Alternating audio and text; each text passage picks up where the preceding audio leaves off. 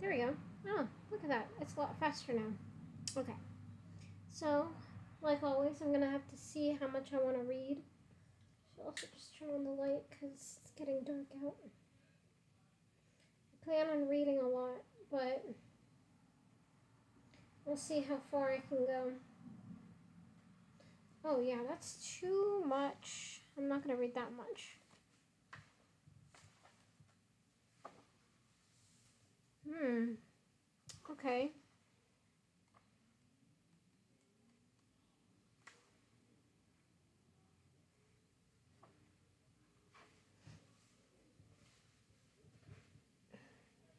Alright. I think I know where I want to leave off, but that can always change. And it probably will. Okay. First off, I gotta. There we go.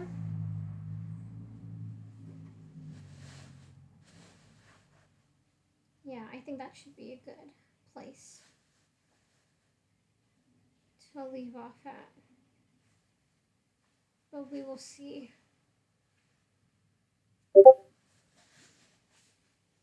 Hell yeah. Yeah, hype. All right. So last we left off, um,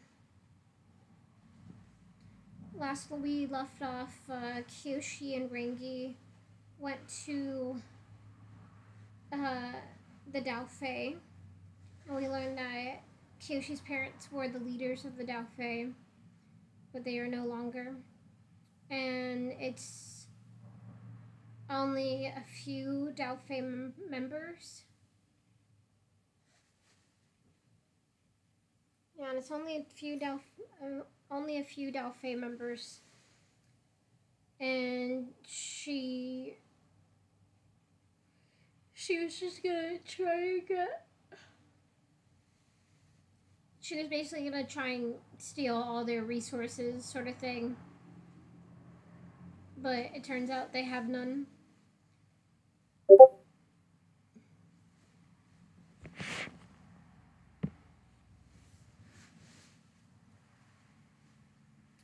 They actually suck.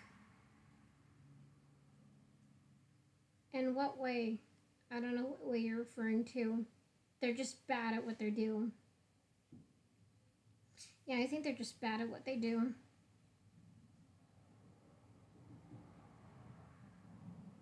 Or I've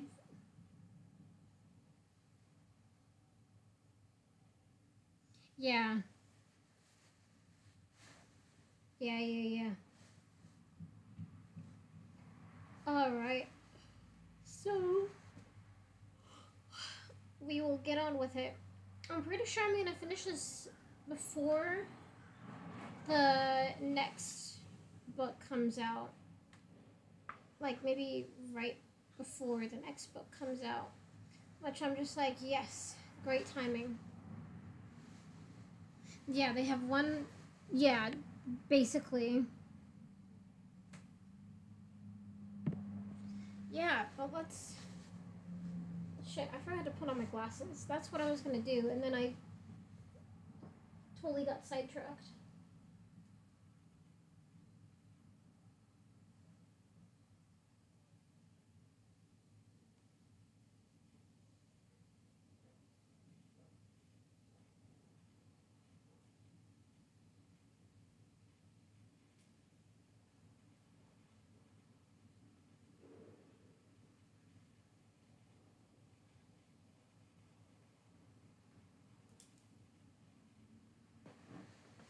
All right.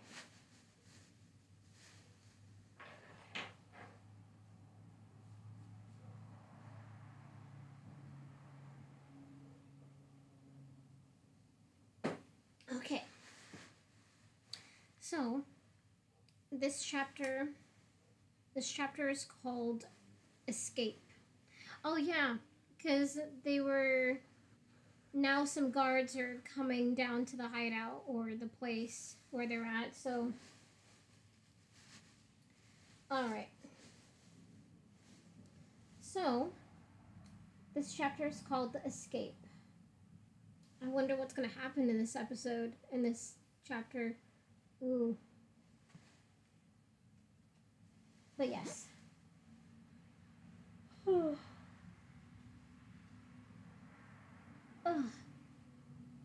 Escape. The sound of marching boots hitting the road filled filled the air. You stupid old man, Lek shouted. I'm never putting you on watch again. Finally, Lagu said. He winked at Kyoshi. Uh, officers wearing constabulary. Constabulary. I'm pretty sure that I'm saying it right, but I just want to make sure.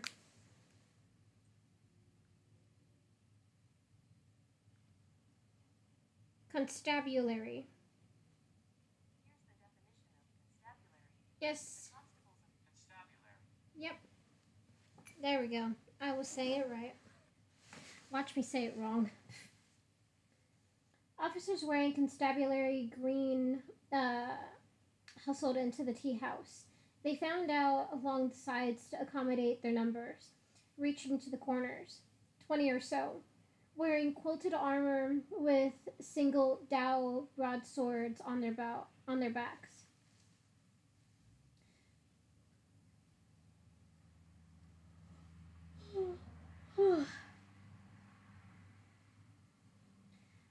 At the head of their formation, still in plain clothes, but now wearing the same headband adorned with the prefectural badge of the law as the others, were the same three men who'd been in the tea house earlier.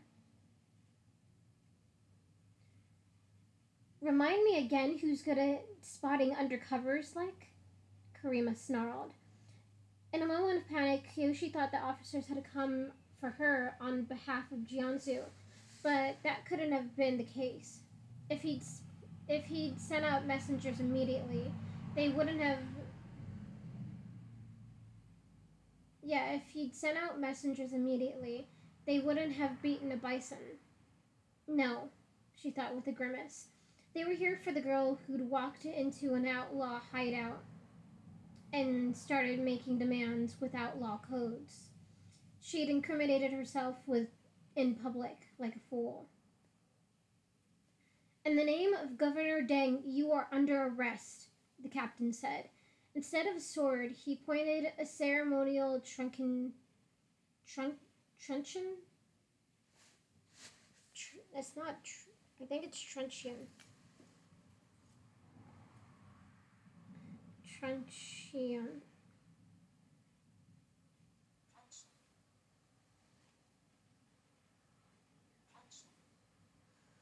Truncheon. This one, I don't know how it's pronounced because it's like a weird. Truncheon, I think.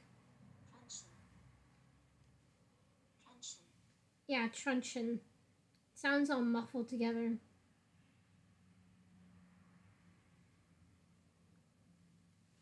Okay.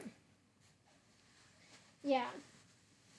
Instead of sword, he pointed a ceremonial truncheon topped with the Earth King's seal at, at them, but it looked heavy enough to break bones regardless. Put down your weapons. Deng. The name brought more terror to Kyoshi's heart than a charging saber-toothed moose lion. Stout, red-nosed governing stout, red-nosed Governor Deng was a frequent visitor. Uh, yeah, stout, red-nosed Governor Deng was a frequent visitor to Jianzu's house, and one of his closest allies. Kyoshi glanced at Rangi. The firebender's wor- the firebender's worried headshake uh, confirmed her fear. If they got caught here tonight, the whole operation was over. They'd be back in Jianzu's grasp before his breakfast got cold.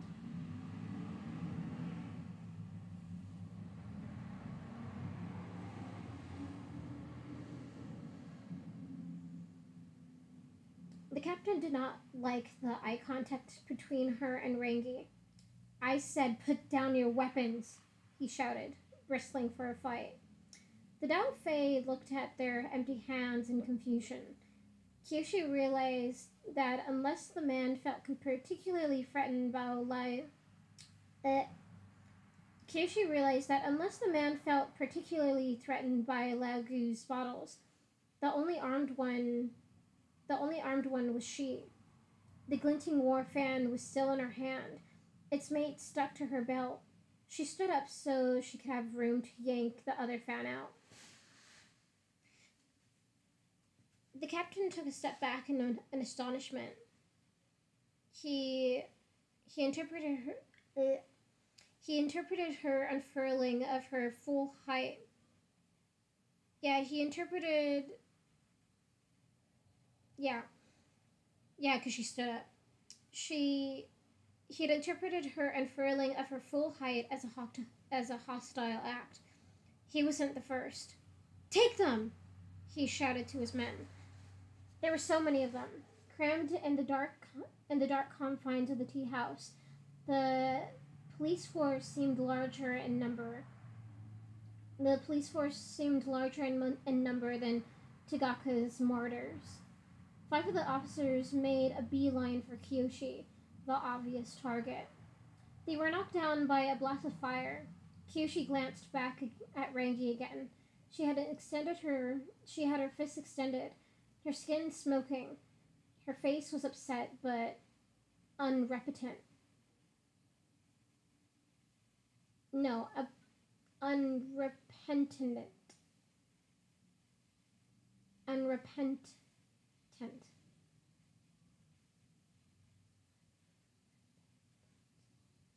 Yeah, her face was upset but unrepentant. If they were in, they were in full measure. Rangi didn't do things by halves. Inspired by her decisiveness, Wong picked up Lao Gu and threw the drunkard ball, the, the drunkard bodily at the captain like a rag doll. Lao Gu's warlike screech as he flew through the air was the only sign that he'd agreed to the act. The two of them must have done it before. The element of surprise worked strongly in their favor as Lao Gu's weary arms wrapped around the captain's neck and his legs scissored around the waist of his subordinate, becoming a human net. Toss me! Basically. Another blast from Rangi sizzled past Kyoshi's ear. She, lo- she no longer knew what was going on. Men closed in on her with swords drawn. She picked up the nearest heaviest object and she picked up the nearest heaviest object, the Pai Sho board, by one of its legs and threw it threw it in an arc. The policemen were about were bowled over. Yeah, the policemen were bowled over like wheat stalks by the dense wooden bludgeon. The ones who tried to block her wild strikes with their dao had their swords bent had their swords bent and crushed against their torsos for their trouble. Fresh officers ran in through the door, only to slip on a sheet of ice that Karima laid down using nothing but the remaining wine from Lao Gu's stash. Kyoshi jolted in surprise at the Kyoshi jolted in surprise at the reversed reserved, not reversed. Yeah, Kyoshi jolt, jolted in surprise at the reversed. Why do I want to say reversed? Reserved. Yeah, uh, Kyoshi jolted in surprise at the reserved minimalist twirl of her wrists and fingers. For a moment, it looked like Tagaka of the Fifth Nation was fighting for her. Yeah, for a moment, it looked like Tagaka of the Fifth Nation was fighting on her side. Go, girl! Lao Gu said, clamping swords inside their scabbards.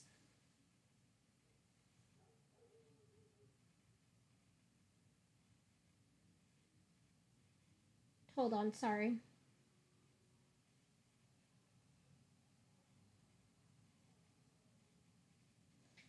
Yeah. Yeah, for a moment it looked like Tagaka of the Fifth Nation was fighting on her side. Girl! Uh, Lao Gu said. Clamping swords inside their scabbards wherever his bony fingers and toes could reach. Bump the table!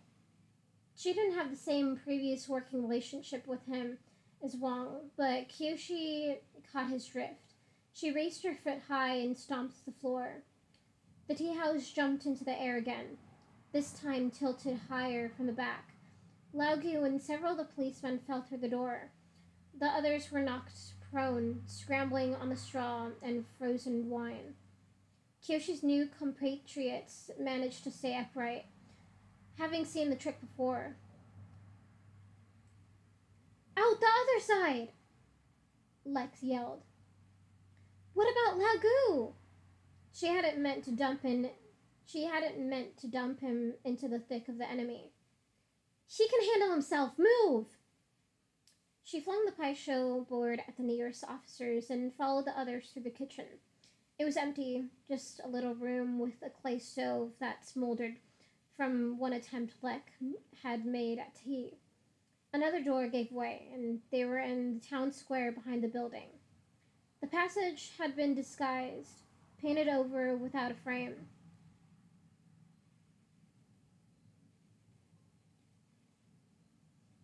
Yeah, the passage had been disguised, painted over without without a frame,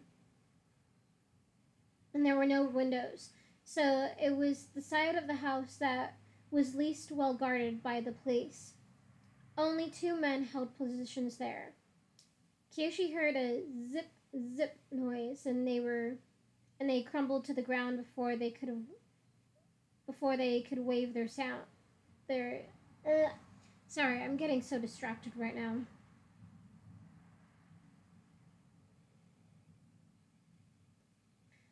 Yeah, let me start over that thing. Yeah, the passage had been disguised, painted over without a frame, and there were no windows. So it was like the side of the house that was. So so it was this. Uh, God damn it. So it was the side of the house that was least well guarded by the police. Only two men held positions there. Kyoshi heard a zip zip noise, and they were crumbled to the ground before they could wave their swords. Lek, t- Lek tucked something back into his pocket. Where's your ride? Rangi answered, which was good because Kyoshi had lost her bearings and had no idea. Southwest corner of the town. She said. If everyone follows me, I can get us there. There was a harsh scrape of clay from above. A whole section of roof tiles slowed over, slowed, slowed off, yeah, slowed off and came crashing down at their heels as they ran. Reaching Peng Peng meant running along the edge of the square, seeking one outlet from the many crumbled alleyways branching and yeah, reaching Peng Peng um, meant running along the edge of the square, seeking one outlet from the many cram- cramped alleyways, branch- branching and forking in different directions, like the veins of a leaf. Kyoshi caught sight of the reason why they hadn't been swarmed by more lawmen. Laogu was tangling. Laogu was tangling with a whole platoon of them by the main entrance. They slashed wildly at the air he occupied, only to come up empty every time. He folded and rolled his body like the wine still fogged his mind, dodging and flipping, his movements seemingly designed to taunt and frustrate them. Kyoshi saw him leaning over at impossible angles nearly parallel to the ground, and realized he was subtly earthbending supports underneath his torso, changing his center of gravity to, com- to confound his opponents. We can't leave him, she shouted to the others. Apparently they could, because no one else gave Laogu a second thought. This one! This one, Rangi said, darting down a passage into the darkness. But before anyone had a chance to follow, a thick stone wall shut up from the ground, reaching the height of the neighborhood of the neighboring roofs, closing the exit off. The police force had brought earthbenders of their own. Lek, Lek kept running after her as if he were oblivious to the obstacle in his path. Kyoshi thought he was going to dash his brain. Kyoshi thought he was going to dash his brains out against the wall, and then he did one of the most amazing things she had she has she had ever seen. He stepped up and he stepped up into the thin air. Lek ran higher and higher on invisible stairs. Ah, I think he's an er- he's an airbender. It was the only thing it was only after he'd gone above eye level that she saw how.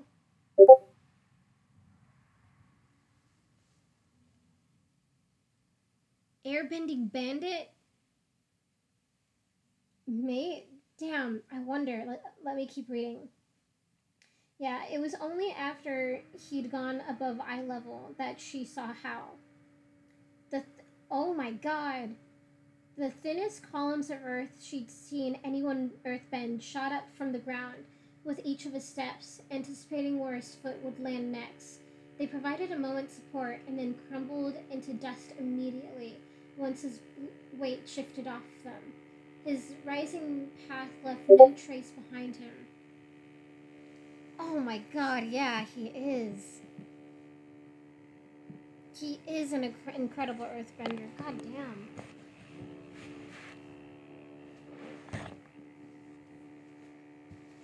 Okay. Let me put this under my laptop because it's getting hot.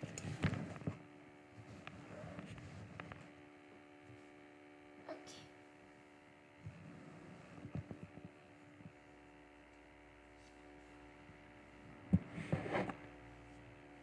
Okay. Hold on just one second. But yeah, he's incredible. I thought he was an airbender for sure.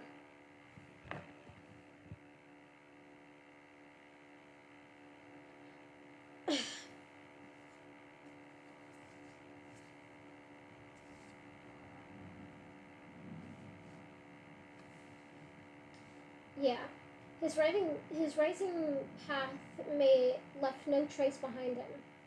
Kyoshi had watched children around the village play by bending the ground they stood on into the air. It was sometimes a test of courage. Who could make their pillow the who could make their pillar the highest, or a game of coordination, taking turns with a partner to see to seesaw back and forth. But it was always highly destructive to the ground, leaving jagged marks of what had happened and the players had to remain still or they'd fall off their platforms. Lek had none of those concerns. He floated, weightless, free of the earth's pull. He stepped over the top of the wall and onto a roof, and onto a roof before disappearing. The feat wasn't the feat wasn't limited to earthbenders. Karima uncorked a small pouch at her waist and wisps of water filled forth spilled forth, gathering under her feet. She stepped higher into nothingness, much le- much as much as Lek had. Only her stairs only her stairs were powerful, thin jets that provided the same resistance as Earth. If the timing was more difficult for her, or if the timing yeah, if the timing was more difficult for her, or the water less stable, she compensated with supreme grace.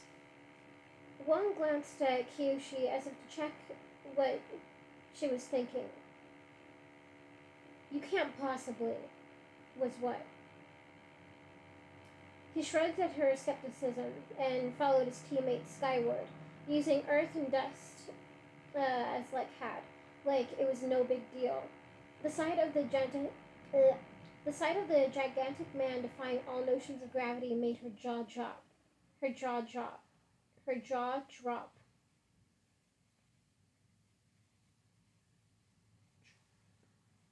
It looked like it looked less like bending and more like spiritual chicanery.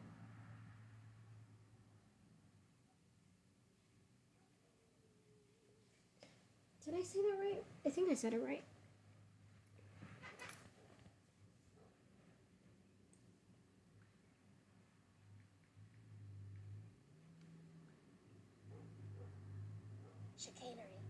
Chicanery.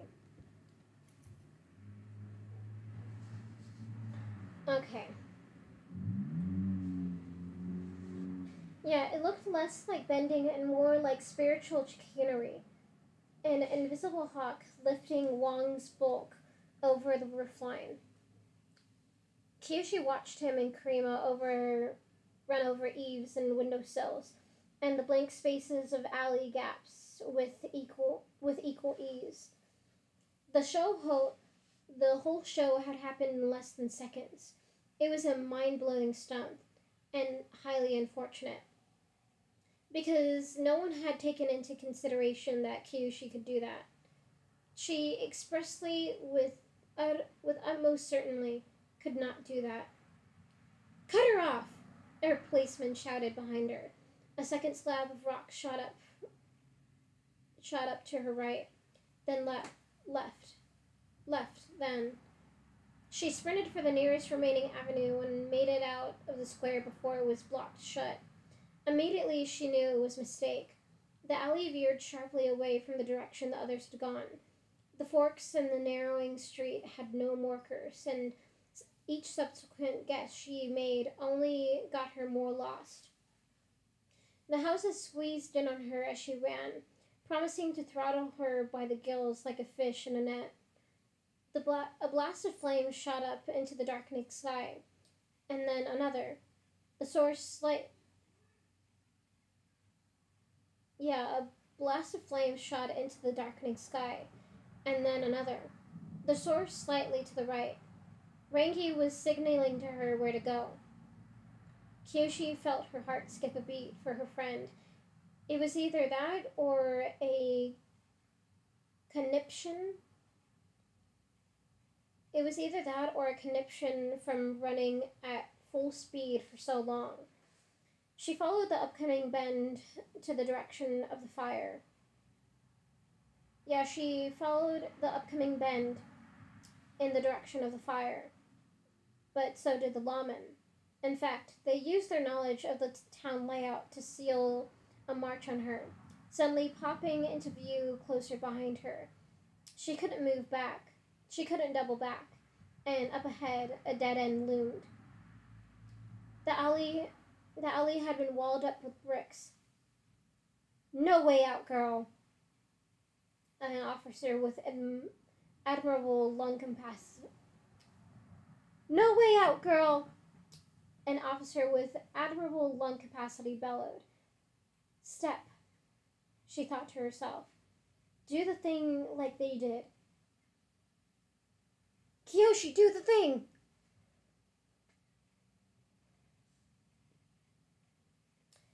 do the thing that like they did.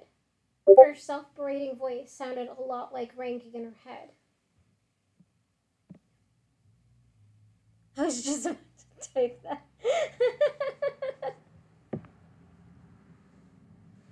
yeah, as soon as that particular line, do the thing, that's just like iconic.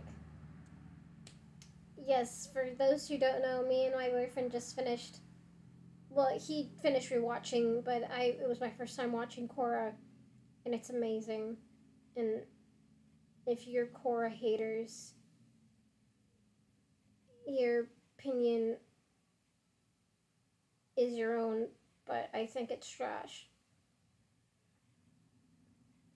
But that's just my opinion, which may be trash to you. But for me, it's gold. And that Korra is never gonna be Avatar, the last Airbender. But you know what? It's something different. It's got a good story. You just hate a lot.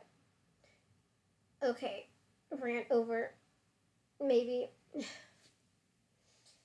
But yes, we were um do the thing if people have watched Korra, when Julie does the thing, do the thing, Q she's doing the thing. Alright. Step, she thought to herself. Do the thing like they did. Her self berating voice sounded a lot like Rangi in her head. It should be easier with more speed, right? She hurled herself toward the wall, praying that she could avatar herself into picking up a technique she'd only seen once.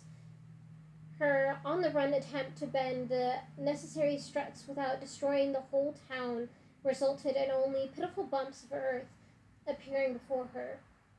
They collapsed under her weight, tripping her up. She fell forward uncontrollably, uncontrollably, face first. She was unable to cross her arms in front of her before she she was unable to cross her arms in front of her before she made impact. Kyoshi shut her eyes as she slammed into the wall. There was a terrible crash, an explosion of snapping bricks and tearing mortar. And when she opened them again, she was on she was on the other side, still running. She plowed straight through without feeling a thing. She must have bent reflexively, flinched, and wrapped herself in her own power like a cloak. A quick glance back showed a Kyoshi sized hole in the wall, and surprised guards trying to decide whether to leap through or go or go over the top. Damn. That's a big hole. That's huge. She just she thought she was gonna do that cool thing that Lek and fucking uh what's his other name uh Wong did, but no, she just earthbended her way through that shit. Hell yeah. In her distraction, she collided with the corner of a house. Fear of broken bones caused her to force her way through the clay structure the instant she felt the pain of impact on her shoulder. The building stayed standing, a neat chunk of it ripped off like a sampled loaf of bread. Ahead of her, the spaces between yeah, ahead of her, the spaces between closed up merchant, mer- merchant shops were so narrow that a person smaller than her would have had to stop and wedge through this and wedge through sideways. Rangi sent up another another beacon. The only way to get there was was as the bird flew. Kyoshi sent an apology into the cosmos for the damage she was about to cause, and barreled straight and, and barreled straight into the cluster of buildings. She couldn't be if she couldn't be a creature of grace, then she'd be a battering ram. She smashed through the first wall like it was rice paper Inside, she crossed the floor. Cute, she smashed. Yeah.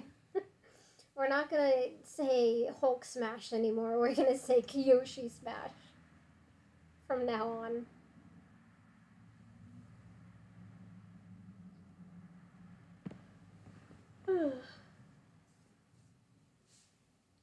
All right. uh, uh, uh.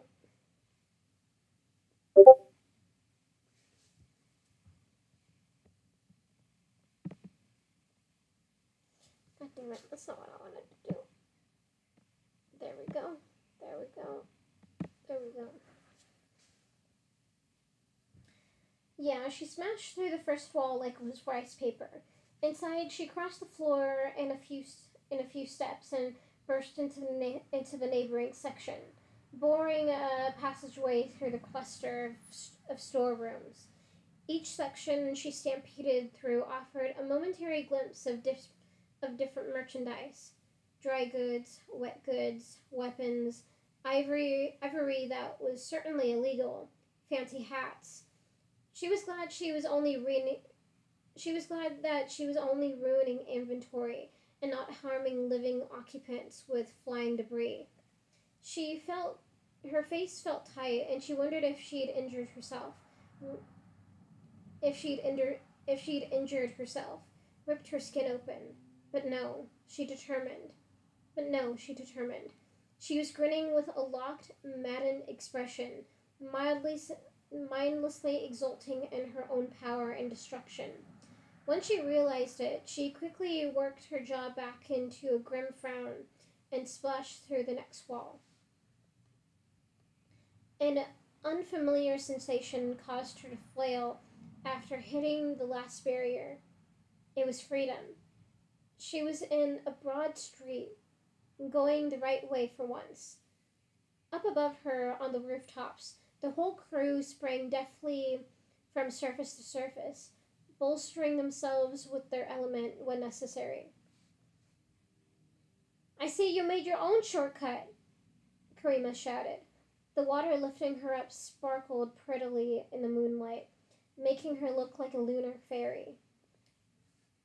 Kyoshi checked behind her to see if anyone had followed the trail of utter devastation she'd left through the town. Where's Rangi? Still in the lead. That's quite a companion you've got. There was another blaze of light that resembled a rocket climbing into the night.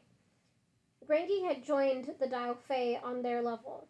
She ran as nimbly as they did on the roof tiles, and when there was a leap too great to make naturally, she stepped on jets of fire that blasted out of her feet, bounding in propulsive arcs, bounding in propulsive arcs across the sky. The sight made Kyoshi's breath come to a standstill. The sight made Kyoshi's breath come to a standstill, come to a standstill at the very time she needed it flowing. Rangi was so beautiful, illuminated by moon and fire, that it hurt. She was strength and skill and determination wrapped around an unshakable heart. Kyoshi had always admired Rangi, but right now it felt as if she were gazing at a friend through a pane of glass, freshly cleaned. Some mighty and loving spirit had reached down from the heavens and outlined the firebender in new strokes of color and vibrance. Damn. There's there's no hetero heterosexual explanation for this. Nope, none at all. Totally and utterly gay. Totally and utterly gay.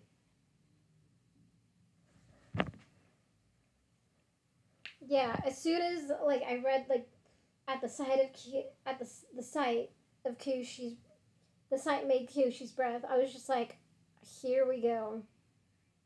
The descent or the ascent into Gaydom. And down. It is beautiful. Okay. Well, let's hear more of this beautiful inner monologue that Kyoshi is having. Some mighty and loving spirit had reached down from the heavens and outlined the firebending and outlined the new the firebender in new strokes of color and vibrance. There was a struggle in Kyoshi's chest that had nothing to do with how hard she was running. Notes of longing and fear played in one chord. She tamped the feeling down, not wanting to confront not wanting to confront what it meant right now.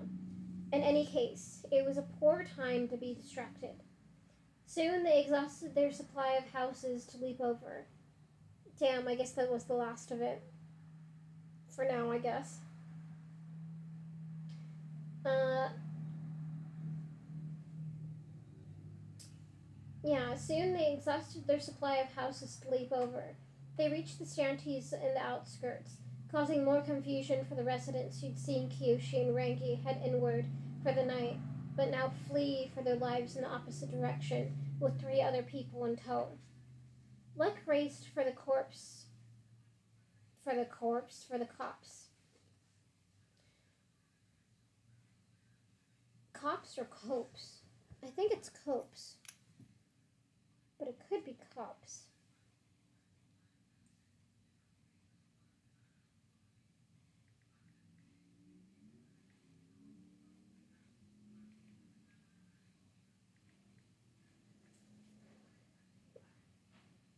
Uh,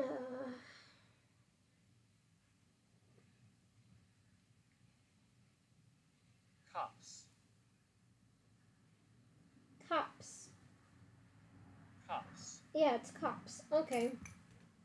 But it's like cops. Okay. Lek raced for the copse of trees without being told, perhaps understanding that there were only a few places you could hide a 10 ton bison. Kyoshi reached the copse in time to catch the boy as Pang Pang roared and blasted him backward with wind. Easy, girl, she coughed, her lungs burning from the run, and inhaled the building dust. They're with us. Walking across the sky, walking across the sky must have been a highly efficient technique, because no one else seemed as tired as she. Rangi leaped onto the Rangi leaped onto Pang Pang's neck and unwound the reins from the saddle horn. The Dao climbed onto the bison's back, gripping her fur with strange famili- familiarity. Once they were settled, Rangi took Pang Pang up above the tree line. Lek was ecstatic. A bison! He, stra- he screamed, drumming on the saddle floor. A real bison! Calm down, Rangi said. It's not like you can't see them near the air temple. It's not like you can you can't see them near any air temple. He's just excited because we used to have one of our own, Wong said. Cute little fellow named Long Cute little fellow named Long Yan. Long Yan. Despite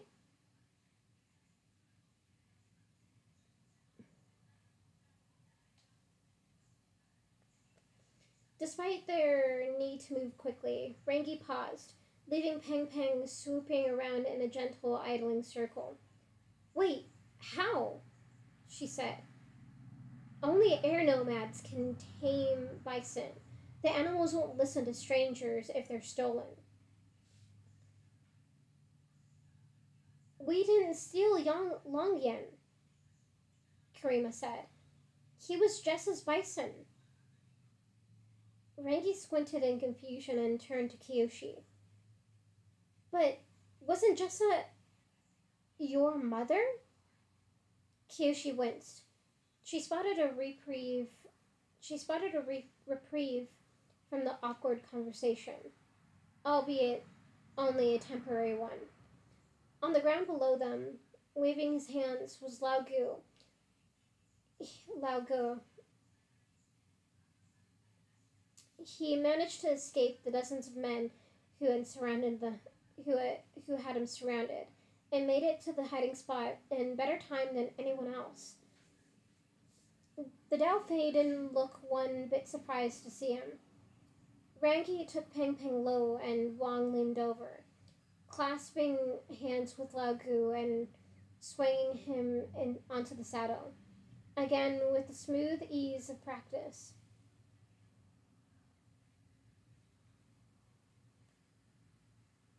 I thought we might finally be rid of your stinking hide, Lek yelled. Not quite so easy. Not quite so easy, Lao Gu said. Is anyone else thirsty? I could use. Shut up, Rangi snapped. She fixed Kyoshi with her gaze again. Does that mean what I think it means? About your mother? She looked hurt at another secret being kept from her, but Kyoshi had honestly, sincerely forgotten to bring it up. It hadn't been relevant until now. Yes, Kyoshi said sheepishly. My mother was an airbender. I'm half air nomad. She felt terribly guilty. She'd forced Rangi to absorb a lot in the past day, Finding out that Kyoshi wasn't fully Earth King. Finding out that Kyoshi wasn't the fully Earth Kingdom girl that Rangi had assumed this whole time was yet another small weight added to the pile. But hearing that a despicable criminal and gang boss was an air nomad. Ah, okay, yeah. So she was a crime boss, but she was an air nomad because as soon as we found out that, because I thought Lek was an air nomad, like an airbender. Yeah, air bandit. Yeah. Because I, I thought to myself after we read that Lek was using earthbending, that I was just like, yeah, fucking air air nomads or airbenders couldn't possibly be bandits and stuff like that. But no, I was wrong. And I'm glad I was wrong.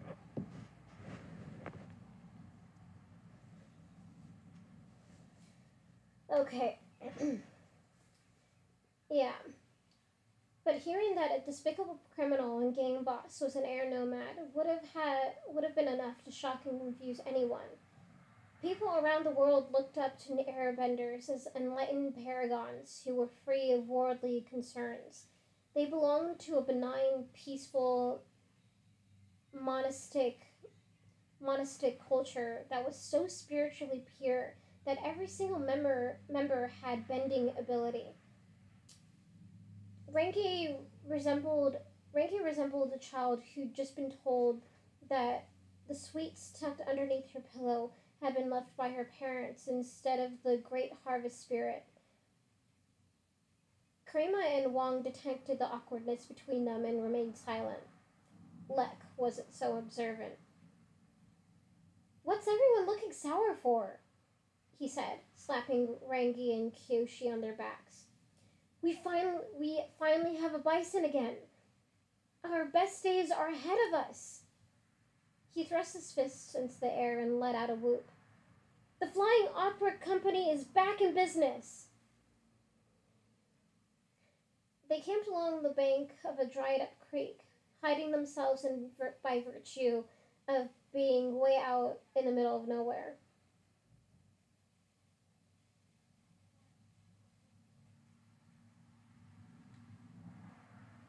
Hold on. I gotta get a sip of water.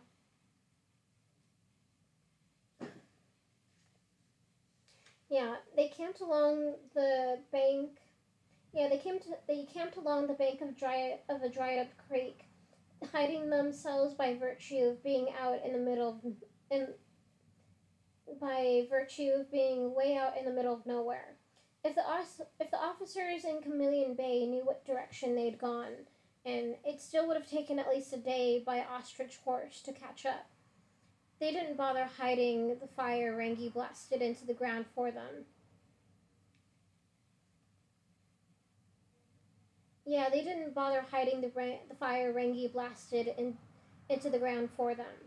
It burned largely. It burned larger than they needed, sputtering and, crack, and crackling from unseasoned fuel.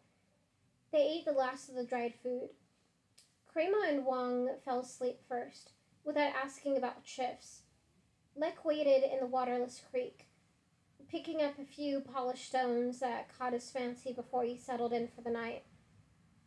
Rangi was holding a grudge over how badly the day's events had gone, almost getting arrested by the local police, the Daofei insinuating themselves into their camp, the revelations about Kyoshi's heritage.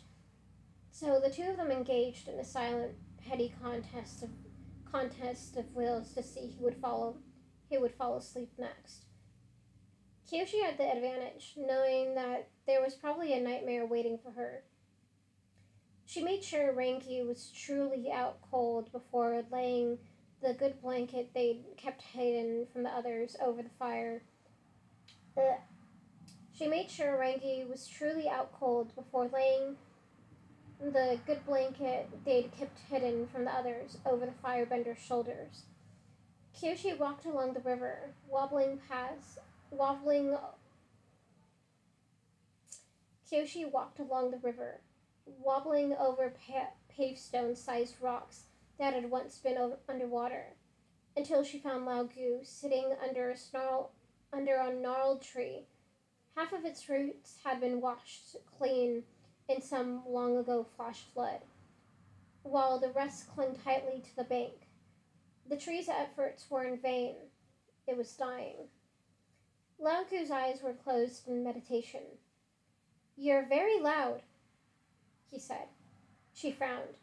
She had practiced stepping lightly for years as a servant, to move like a whisper so as not to distract guests. I mean, your spirit is loud, the old man said. It rings in the air. Sometimes it screams, like right now.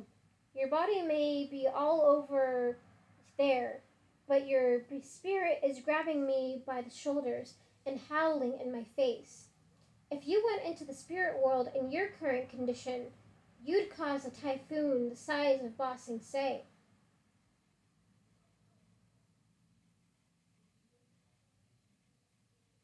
I know who you are, Kyoshi said.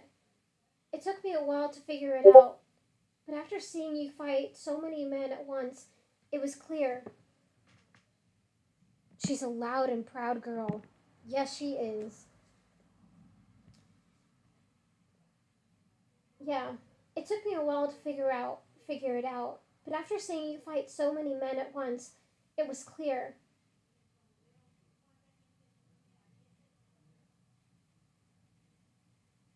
He opened one eye a crack. Kyoshi had a theory that people who liked meditating practiced that gesture to look good, good humored and wise.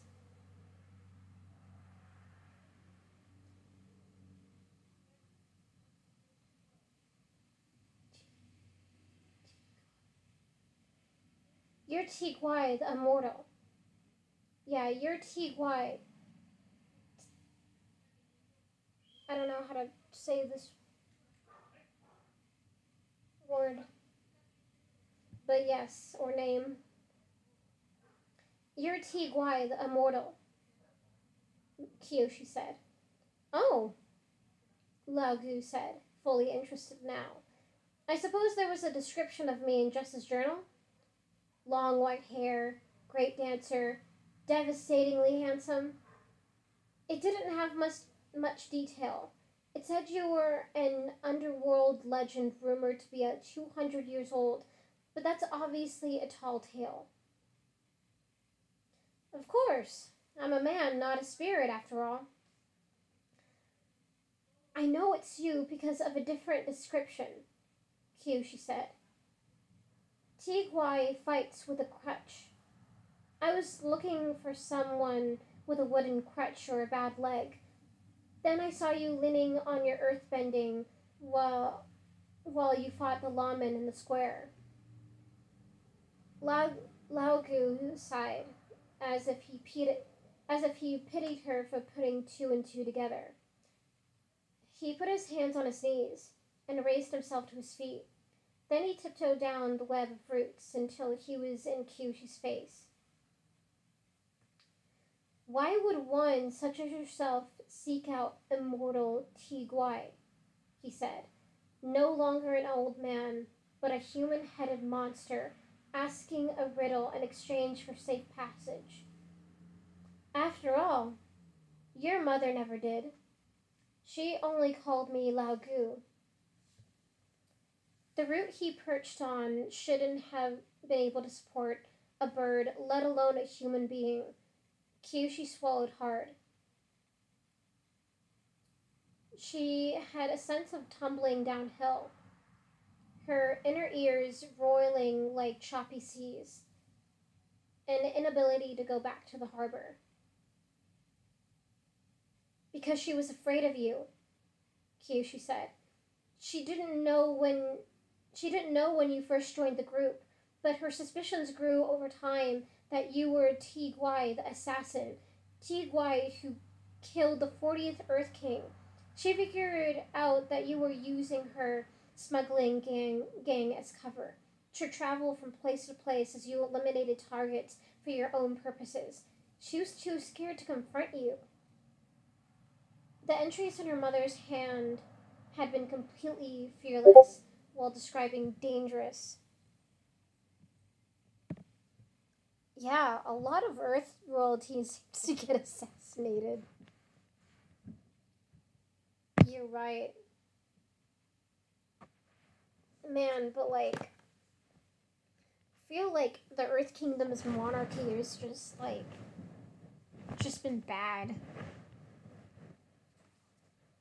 Who knows why they killed the 40th the 40th Earth King, but like the problem with the Dai Li and the Avatar, the Avatar series, and then with the Queen, the Earth Queen, and the Korra series, man, the Earth Kingdom has a lot of, you know,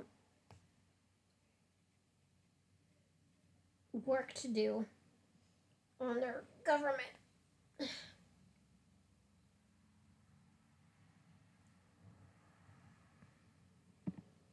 But that's what Prince or King Wu was trying to do in the comic books, which I would recommend to everyone. They were really good. Okay.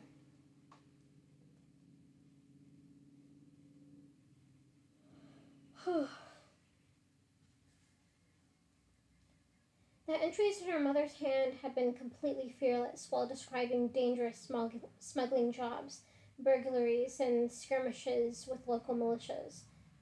They were the musings of someone who'd thrilled the life of a Fei, but the journal had also, but the journal had, but the journal also had patches where.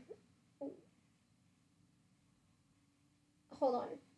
But the journal also had patches that were rife with criminal superstition, none more than the scattered stories about a shadow who moved across the Earth Kingdom, snuffing out lives both exalted and lowly according to some unknowable design.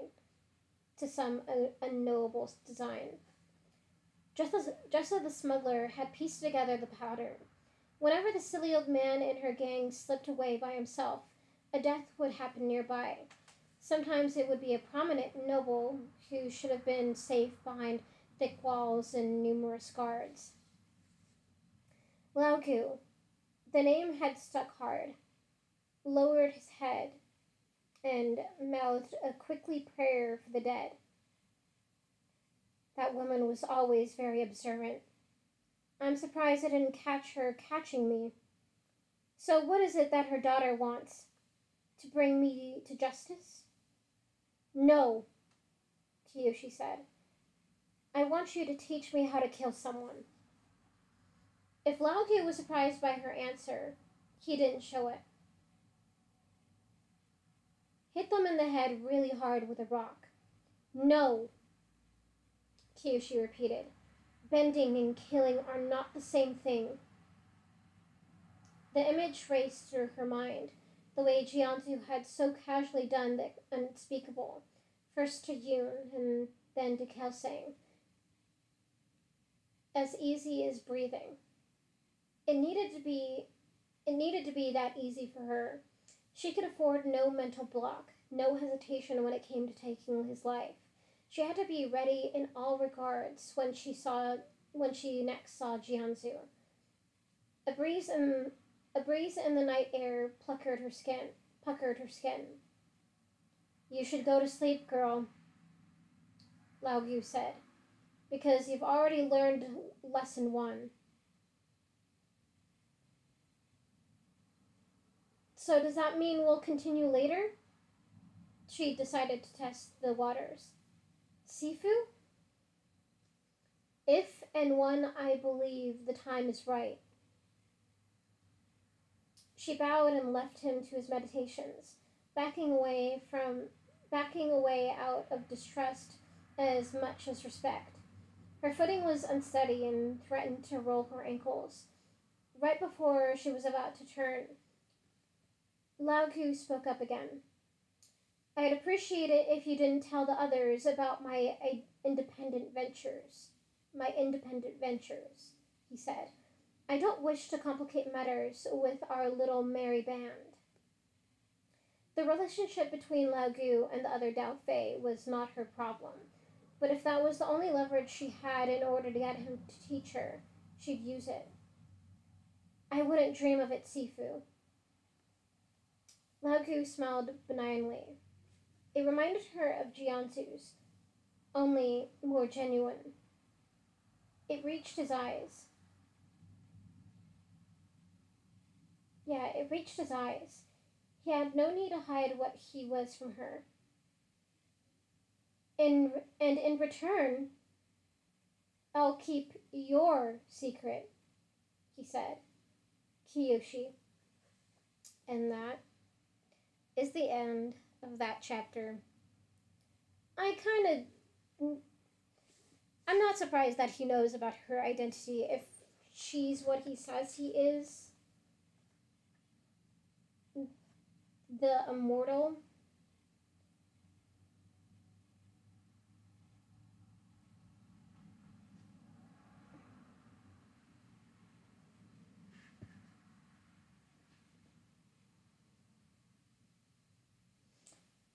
I'm thinking maybe he is a spirit, but maybe he is also a human that is just very, very old. I don't know.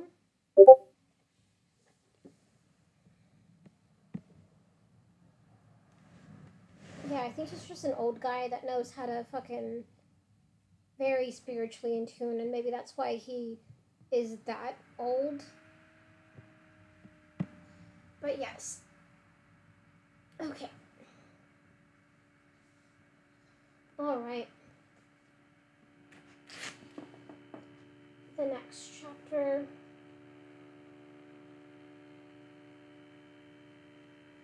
All right, the next chapter is called. Oh, wait, hold on.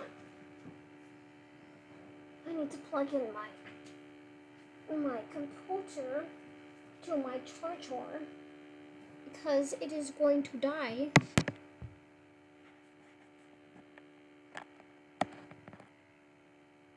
There we go. Alright. So, yes, the next chapter is called The Agreement. The Agreement. Kyoshi slept poorly, fretting during the night over what the old man had said. Her secret. First Tagaka and now Lao Ge. If every old person could look her could look at if every old person could look into her eyes and deduce she had unusual power or was the avatar, then she'd be in trouble. The only bender she'd been a- she'd be able to learn from would be infants like Lek. A toe in her ribs woke her. She clawed at the hard surface under her. Yeah, she clawed at the hard, the hard surface under her, dirt filling her, filling her fingers instead of her sheets. She found herself barren. She found herself bearingly missing her bed. Get up, Rangi said. The sun hasn't risen yet, and the fires. The sun ha- hadn't risen yet, and the fire still had a few red embers glowing in it. Lao Ge was nowhere to be seen, and the others were engrossed in a three-way snoring contest. Gray pre-dawn light Gray light made the dusty riverbank appear like it had been treated with lye, leached of color and vitality. Kyoshi staggered to her feet, having moved in having moved in the night. The good blanket fell off her onto the ground. What? What? What? What? Shoved her along the bank, in the opposite direction she'd taken last night. You wanted training. Well, you're getting training. Starting today. Now. They walked. They walked. Kyoshi feeling like a prisoner as Rangi prodded her sharply every so often for not moving fast enough. They put some distance between themselves and the camp, but much less than Kyoshi thought they would by the time Rangi ordered her to stop. A series of grassy mounds shielded them from view of the others, but the small hills weren't very high. Let's see your horse stance, Rangi said. You don't get a pass on the basics that earthbending has in common with. You don't. Uh, you don't get a pass on the pace. You don't get a pass on the basics that earthbending has in common with firebending. We're firebending? Here? Anyone who came searching for them would certainly check this place. They had left Pengpeng alone with criminals who coveted her. We're reviewing basics, not making flame. Rangi said. I doubt you need I doubt you need a lot of nuanced high level instruction at this point. Can you even hold a deep Can you even hold a deep bending stance for 10 minutes? 10 minutes? Kyoshi had heard five was an admirable goal, one that she'd never reach. There was a hint of a smirk on there was a hint of a smirk on Rangi's lips. Horse stance. Now. I don't say things to my students twice. Three minutes in, and Kyoshi knew what this was punishment. The burning in her thighs and back, the ache in her knees, was retribution for not telling Rangi everything. Look, I'm sorry, she said. Rangi rested her elbow in her other hand and examined her nails.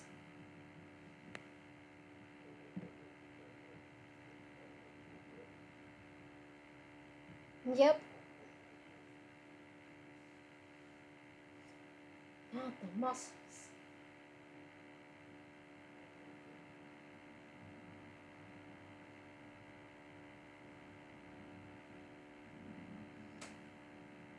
Yep.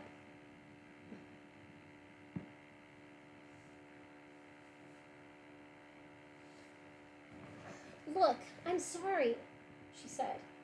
Rangi rested her elbow in her other hand and examined her nails. You're allowed to talk once your hips are get You're allowed to talk once your hips get to parallel. Kyoshi swore and Kyoshi swore and re, readjusted her bones. This had to be an exercise meant for short people.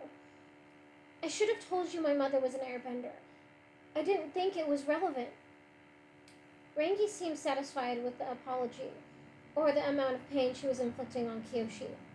It is relevant, she said. Air nomads aren't outlaws. This is like finding out you had a second head hidden under your robes the whole the whole while. Maybe satis- maybe satisfying Rangi's curiosity would get her out of horse stance early. My mother was born a nun in the Eastern Air Temple, Kyoshi said. I didn't know how much I didn't know much about her early life. Hold on.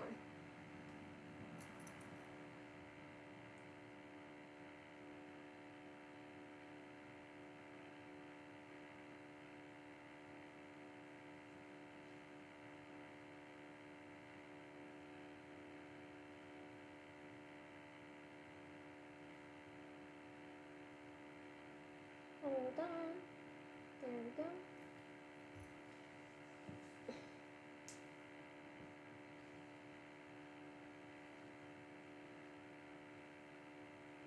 Yeah. Uh, I don't know much about her early life other than she became a master at a young age and was highly regarded. Talking provided a useful distraction from the acid eating her mu- from the acid eating her muscles. Then, on a journey through the Earth Kingdom, she met my father in a small town somewhere. He he was the Dao Fei, an earthbender and a small time thief. Oh, I can already see where this is going, Rangi said. Yes, he dragged her into a scheme and she fell in love with him both and the life of an outlaw. She must have been born into the wrong existence as an air nomad because she tattooed over her arrows with serpents and dove into the underworld with her whole being, seeking out more adventure.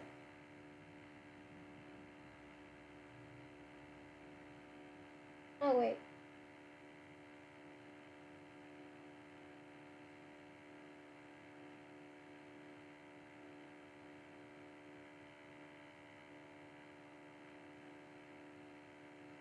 Hold on.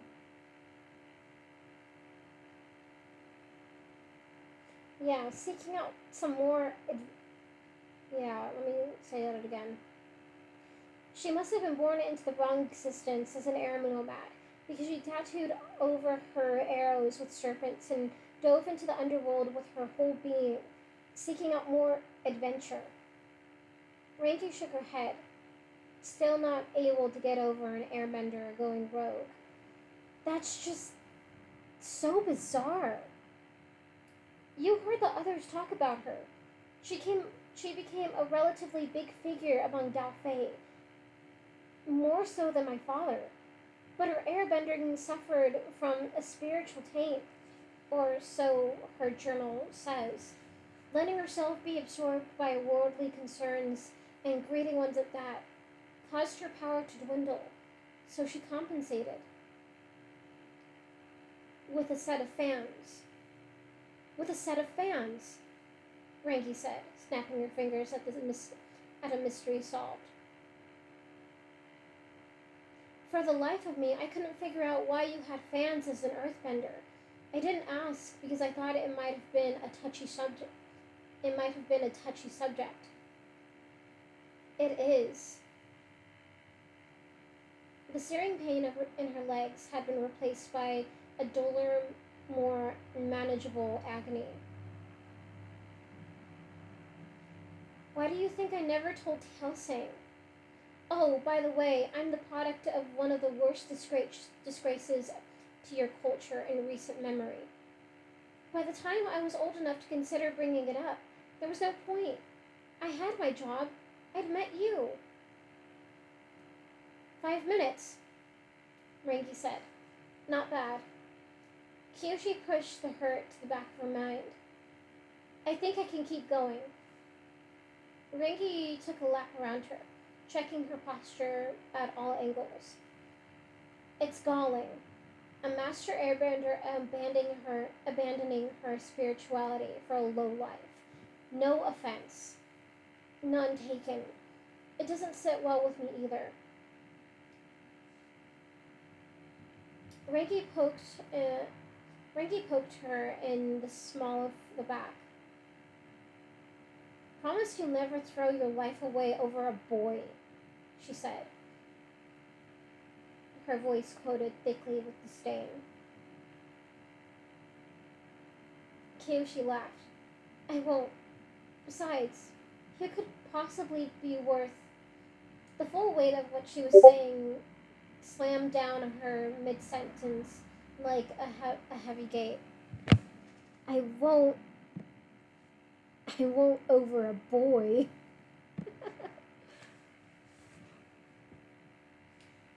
yeah, the full weight of what she was saying slammed down on her mid sentence like a heavy gate.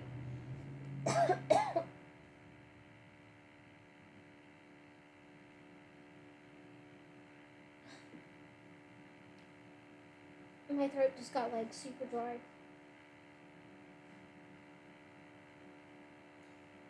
Yeah, the full weight of what she was saying slammed down on her mid sentence like a heavy gate. Her insides, her insides bo- boiled with disgust at her own weakness. She had let herself laugh. She had spoken Kelsang's name out loud without cursing Jianzhu's in the same breath. And worst of all, she had forgotten Yun. It didn't matter how long the lapse was. To release her grip on him, even for a second, was unforgivable.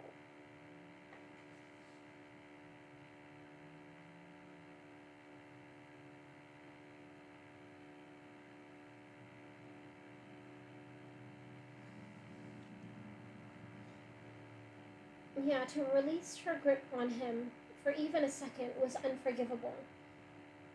Rangi knew it too. Her face crumpled and she turned away.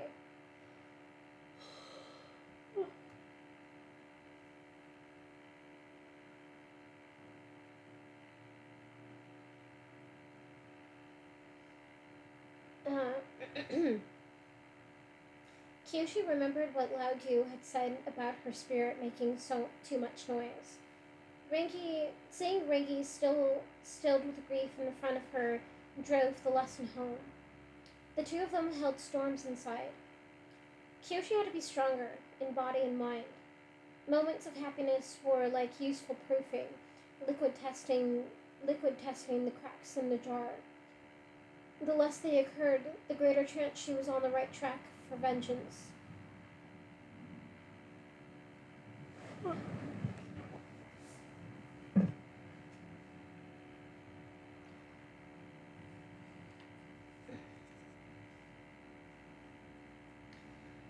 She was still in a low stance.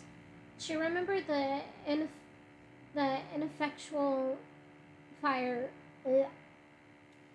She was still in a low stance. She'd remembered the ineffectual fire fist she'd thrown in Jianzhu's face.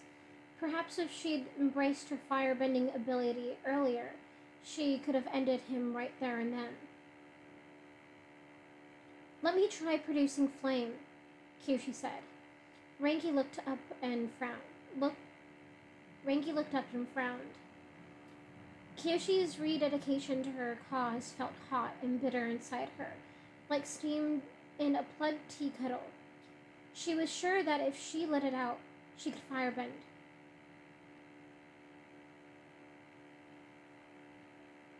Fire fists, she said. I think I can do them with real flame now.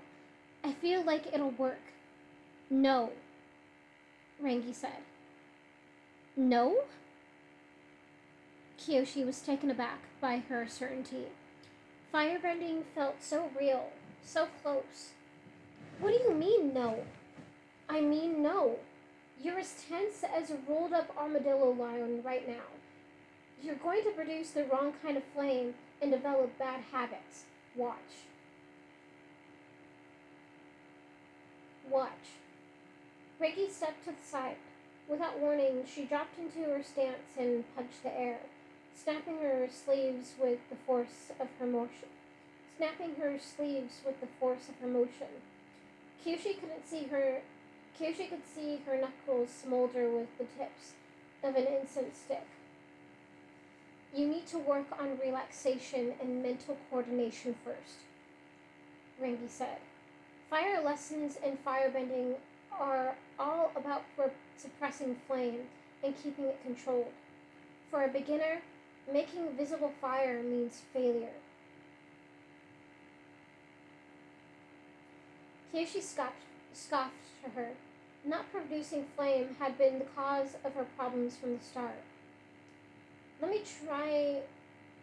Then let me try what you did. She planted her feet in mimicry of Rangi and chambered her fists. Kyoshi, don't! She imagined Jianzhu's face, inhaled and struck. Her one experience at flame spitting had jiggled something loose, made it easy for her to breathe, to spiral outward. Hold on. Her one experience at flame spitting had jiggled something loose, made it easy for her made it easy for her to breathe, to spiral outward from her lungs and combust. Too easy. Energy raced down her arm and crashed into her fingers. It caused her nerves to light up with signals, as if she'd gripped a red hot coal straight from the from straight from the stove. Instead of the crisp glow that Rangi produced, the heat that came out of Kyoshi's fist was erratic, toggling. The popping of water added to hot oil. To, the popping of water added to hot oil. It went on for far long and caused far too much pain. Kyoshi fell on her back and tried to get herself pointed away from any yeah, Kyoshi fell on her back and tried to get herself pointed away from any target. She managed to aim her hand at the sky in time. A tiny, contorted spout of black smoke belched upward from her fingers. Kyoshi sat up. Rangi watched the pathetic yarn ball of vapor climb into the air. Then she gave Kyoshi a stare that was a hard, uh, then she gave Kyoshi a stare that was hard enough to flatten iron. They were saved from a difficult conversation. They were saved from a difficult. Uh, they were saved. Yeah, they were saved from a difficult conversation by Lek. He crested the hill next to him. He crested the hill next to them and traced the path of smoke with his finger.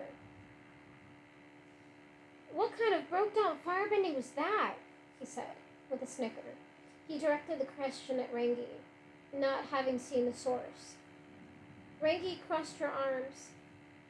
I had a momentary collapse of discipline, she said, still glaring at Kyoshi. It won't happen again. Not if I ever want to firebend properly. Lex shrugged. Lighten up. I was just asking. If the two of you are done collapsing, breakfast is ready. Breakfast was some manner of, ro- of rodent, hunted, gutted, skinned, and burnt, to the point of unrecognizability. Kyoshi and Rangi ate with big, angry bites as they sat with the Daofei around the rebuilt fire, each trying to show the other how upset they were through aggressive gnawing. Lek forgot his portion as he, as he watched them, amazed.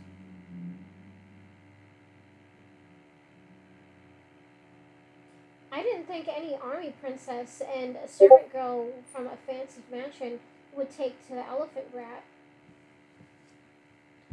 Angry eating. Very angry eating.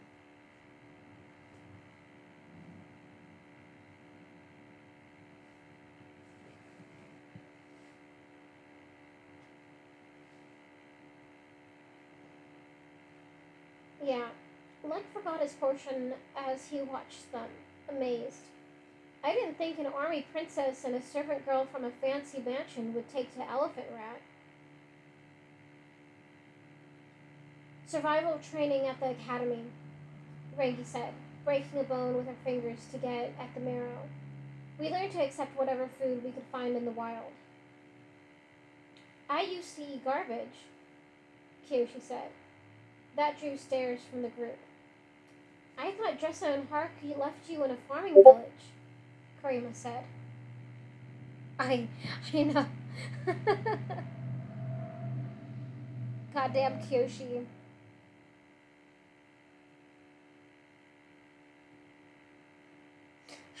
Kyoshi's so, dude, same. I love her. Yeah. That drew stare that drew stares from the group. I thought Jesa and Hark left you in the far- in a farming village. Kirima said. That doesn't mean the farmer shared food with me. Kyoshi worked her tongue around the stringy fiber of meat caught in between her teeth. They might not have known I was a child of outlaws, but I was still an outcast there. They treated me like I was unclean, and then I had to do things like this to survive. So, you know, self fulfilling prophecy. Reasons like that are why I can't st- stand law abiding, salt of the earth folk, Wong said. It's the holier than thou attitude, the hypocrisy. He wiped his hands on a leaf. If anything, they deserve to be knocked out and robbed on a regular basis. Yeah. If anything, they deserve to be knocked out, knocked out, and robbed on a regular basis. He knew he noticed Kyoshi staring at him. What? He said. I practice what I practice what I preach. You must have hated their guts, Kirima said. The villagers? Not really. Kyoshi found she meant it. Not as much as the people who left me with them. Lek threw the remnants of his meal into the fire and walked off, fuming silently. He disappeared behind the other. He disappeared behind the other side of Peng Peng, the only member of the party who seemed to make him happy. All right, what's his problem? Kyoshi snapped. Every time I state the fact or an opinion about my parents, he has a fit. That's because he idolized them, Kirima said. We picked him up in a town outside the Misty Palms oasis. He just lost his brother. He just lost his brother, his last remaining family. Hark and Jesa took him in for a few days, and he proved useful on a job, so they taught him more and more of the trade until he grew into a stricter follower of the outlaw code than the rest of us. He worshipped the ground they walked on. Perhaps Kirima had meant to soothe the beast inside Kyoshi, but instead she'd smeared its nose with fresh blood. Oh, I'm sorry, Kyoshi said, a lifetime's worth of unused irony pouring, pouring forth. I'll remember to be nicer to the boy my mother and father decided to decided to raise instead of me. Kirima made a gesture with her thumbs to indicate how little she cared about the issue.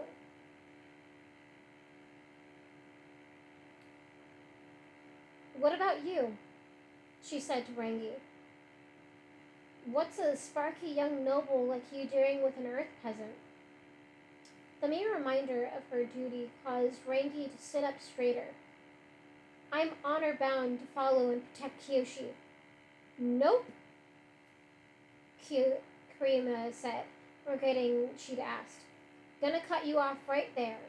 The last time I listened to an air the last time I listened to a firebender talk about honor, my ears nearly rotted off my skull. Had to kick him, had to kick him out of my bed with both feet. She and Wong got up. The older, the two older Dao Fei didn't feel the need to reciprocate their life stories. Oh no! yeah.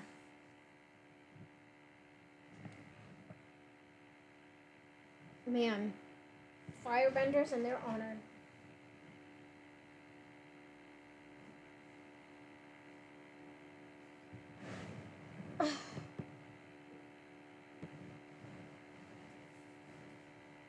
yeah. Uh, she and Wong got up. The two older fire the two older Fei didn't feel the need to reciprocate their life stories. Wong pointed two fingers at the campfire and sunk it a few feet into the ground before covering it up. His size belied the dis- his his size belied the dexterity of his earthbending.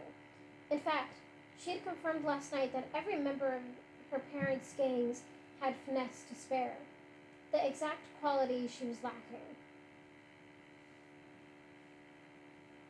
We need to talk, Kyoshi said, getting up as well. Last night we were interrupted before I agreed to do anything.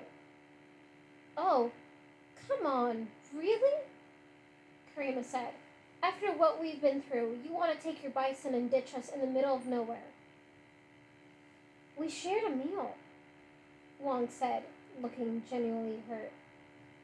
We beat up lawmen together. My demands haven't changed, Kyoshi said. I want bending training, and the only benders around you are Lot. You'll teach me, personally.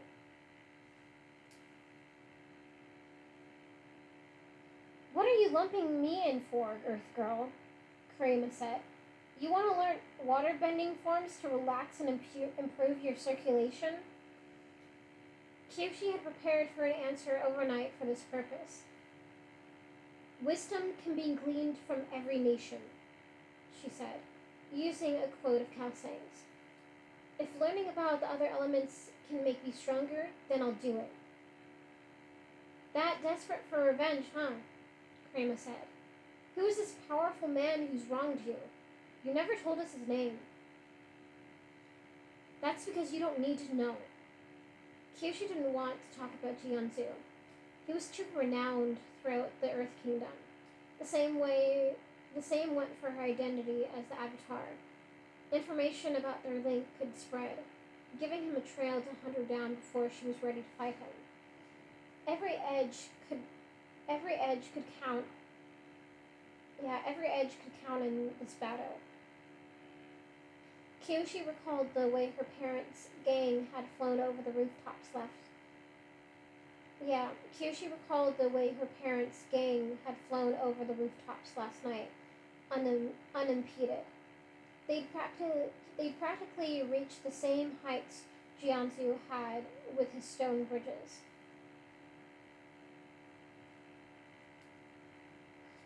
I want to learn how to run across the sky, she said like you did in town. Dust, dust stepping? Dust stepping?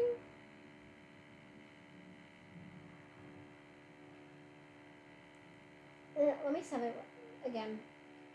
Because the two words sound like I'm saying it weird. I feel like I'm saying it weird. I want to learn how to run across the sky, she said, like you did in town. Dust stepping? Wong said. His unusually impass- impassive face took on an edge of seriousness. It's our group's signature technique, Kirima said. Though for me, it's mist stepping. And it's not something you get for free. The atmosphere changed. Previously, the Dao Fei had treated Kyoshi's demands as amusing, the barking of a puppy trying to look fierce. This was the first time they'd gotten truly cautious and guarded, as if they might be swindled in the trade. Reiki noticed their reservations. You're acting pretty serious about a technique I cribbed after seeing it once, she said. Kirima fixed her with a stare. Other groups probably would have killed you for that. Other groups would have other groups probably would have killed you for that. She said without a hint of jest. You you don't last long in our world by letting everyone see your advantages. Secrets are how we survive. She turned back to Kyoshi. We teach you. That means you're in. For real. And for life. You'd have to swear our oaths and follow our codes. In the eyes of those who abide the law, you'd be a Dao Fei. I'd be like Tagaka, Kyoshi thought. I'd be like my parents. She stilled she stilled the revulsion inside her and nodded. I understand. Kyoshi, think about what you're doing, Rangi yelled. Top Knot's right, for once, Wong said. You don't take these vows lightly. It means accepting us as your brothers and sisters. He raised his, he raised his brows, showing the whites of his eyes. Since we've met, since we've met, you've been looking down your nose at us. Can you honor? Could your honor take that hit, associating with such unclean folk? The big man was more incisive. Yeah, the big man was more incisive than he looked. Kyoshi knew what it was like, being on the receiving end of disdain. Her answer was yes. As far as she was concerned, her personal honor and reputation had no had no value.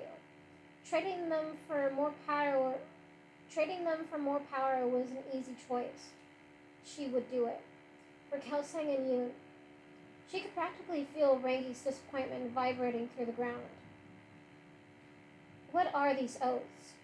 Kyoshi asked. According to Kirima, the swearing in ceremony was supposed to take place in a grand hall, with the initiate with the initiate standing other with the initiate standing under an arc of swords and spears. They had to improvise. Kyoshi took a spot by the riverbank while Wong stood behind her and held a pocket knife over her head. Kirima had Kyoshi make some odd salute. Kyoshi had, not Kyoshi, Kirima had, yeah, Kirima had Kyoshi make the same odd salute the gang had used the night before, the night before in the tea, in the tea house. The flattened, the flattened left hand represented the, the square folk, the law-abiding community, while the right fist hammering it down meant represented followers of the outlaw code. Just in case Kyoshi forgot, she was joining the forces of darkness.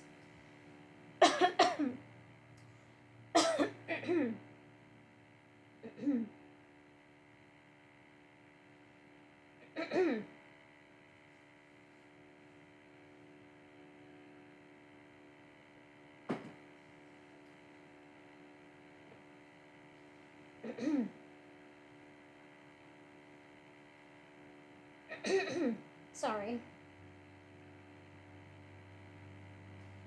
Yeah. Rangi stalked some ways off to the side, making sure to stay within her field of vision, so everyone could see how angry and disapproving she was the whole time. Kirima ignored her while conducting the ceremony. According to the waterbender, there were normally 54 oaths that had to be taken, recited from memory by the new member of the gang. She decided to let Kyoshi off easy with just the most important three. Oh, spirits! Kirima exclaimed. A lost one comes to us seeking the embrace of family. How will we know her heart is true? How will we know that she follows the code? I shall swear these oaths, Q, she said in response. I swear to defend my brothers and sisters and obey the commands of my elders. Their kin will be my kin, their blood my blood. Should I fail to uphold this vow, I may be hacked to death by many knives. The words were easy to say. They caused no tugs of conflict on her spirit. Yun and Kelsang had been her Yun, Yun and Kelsang had been her love her lifeblood. She should have she should have defended them with every scrap of her being. They might have lived had she embraced her power more, more fully. Next, Kyoshi said,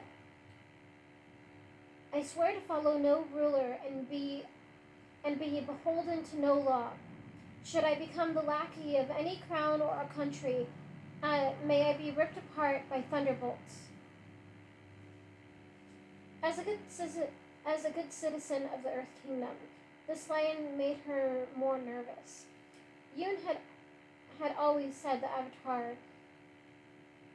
Uh, had always said the Avatar had to act independently, independently of the four nations, but this but to disregard the law and order completely felt like an extreme for the sec- for the sake of extremes. Did her parents walk down the street trying to flaunt every statute and custom they could think of? Stop drifting, Kirima hissed. Kyoshi coughed and straightened up. Last, I swear never to make an honest living from those who abide who abide the law. I will take no legitimate wave and work. I not wave. I will take no legitimate wage and work for no legitimate man. Should I ever accept coin for my labors, may I be sliced to bits by a variety of knives.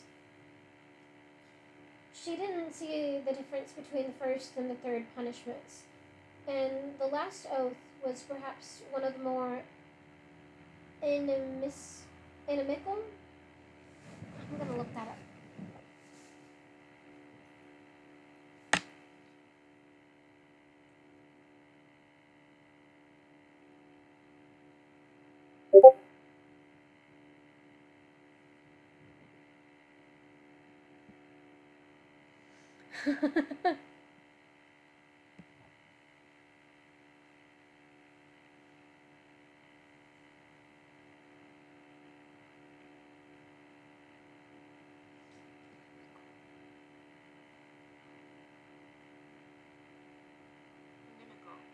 Inimical.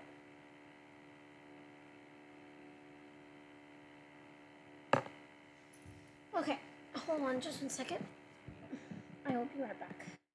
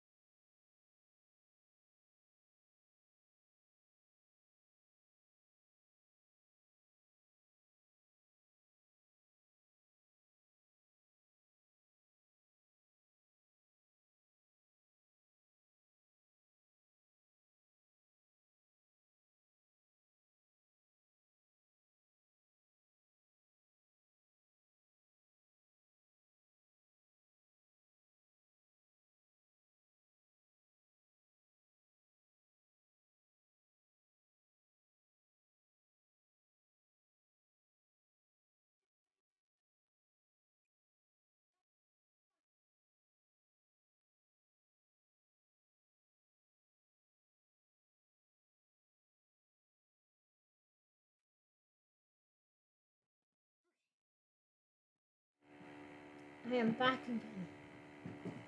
Uh.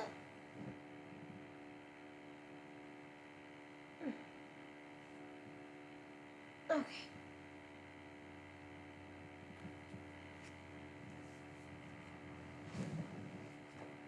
Alrighty. Back to where I was.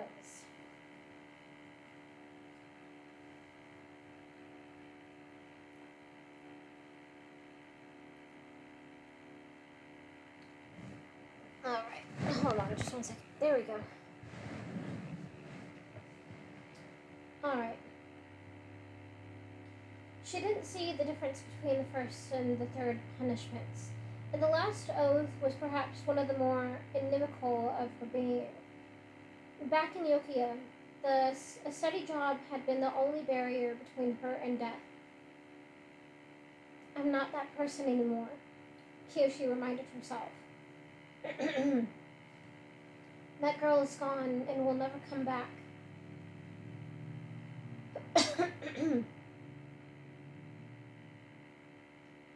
With her third vow, with her third vow, she was done.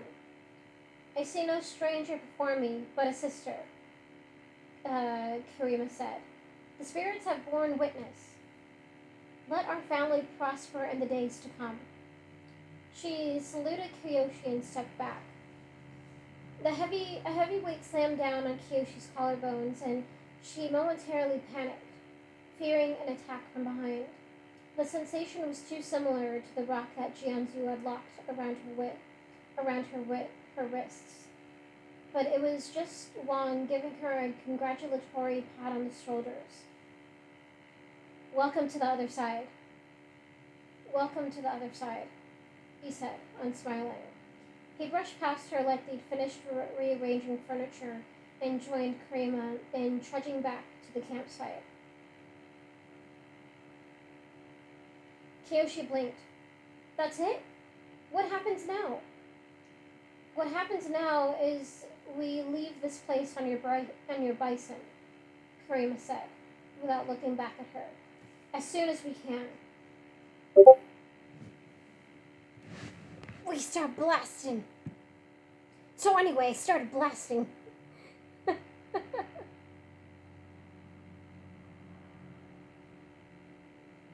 Oh, yeah. They left her alone with Rangi. Instead of scolding Kyoshi, the firebender simply gave her a shrug that said, You get what you pay for. Kirima and Wong were already cleaning up the remnants of camp once they caught up. The big man took special care to cover their footprints, sweeping dust over the signs of their presence with little pivots of with little pivots of earth bending. The deal was for lessons, Kyoshi said. And you'll get them once we pick up a score, Kirima said. She, th- she checked the level of water her she checked the level of her water of her water pouch and made a face. Even little baby vengeance seekers need food and money to survive. In case you haven't noticed, we're out of both. I'm not eating elephant rat for two days in a row. Kyoshi pulled her lips over her teeth in frustration. They touted the ser- they touted the seriousness of the oath so much that she thought they'd start treating her like an equal after she took them. Instead, they were treating her like Lek. She had to establish a better position in the hierarchy, or else this would go on forever. As Wong reached down to pick up a blanket, she stepped on it, pinning it to the ground. He stood up and gave her a stare that could that had probably heralded countless brawls in the past. Yeah, he stood up and gave her a stare that had probably heralded in the past. Kyoshi crossed her arms and met his gaze. He wasn't more dangerous than Tagaka or. Jianzhu.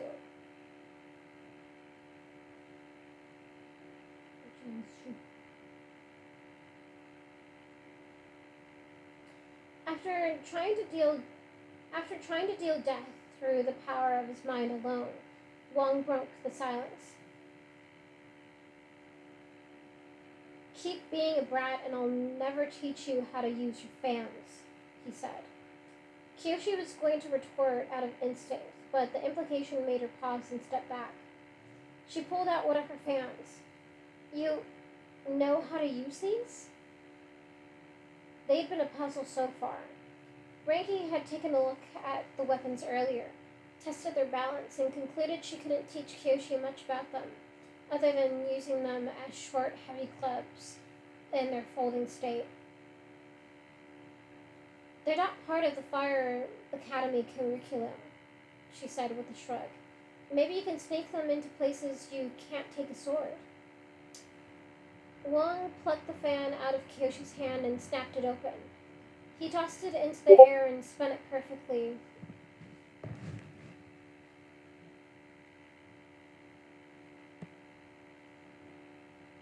I don't know, hit him with it.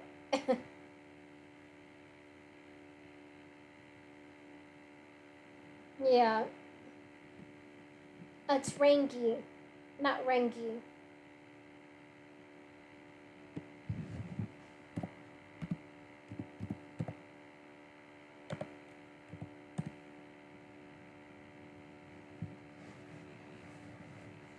Yeah. Like, I hope I keep, I'm saying her name right, which I think I am. But, I might not. But I think I am.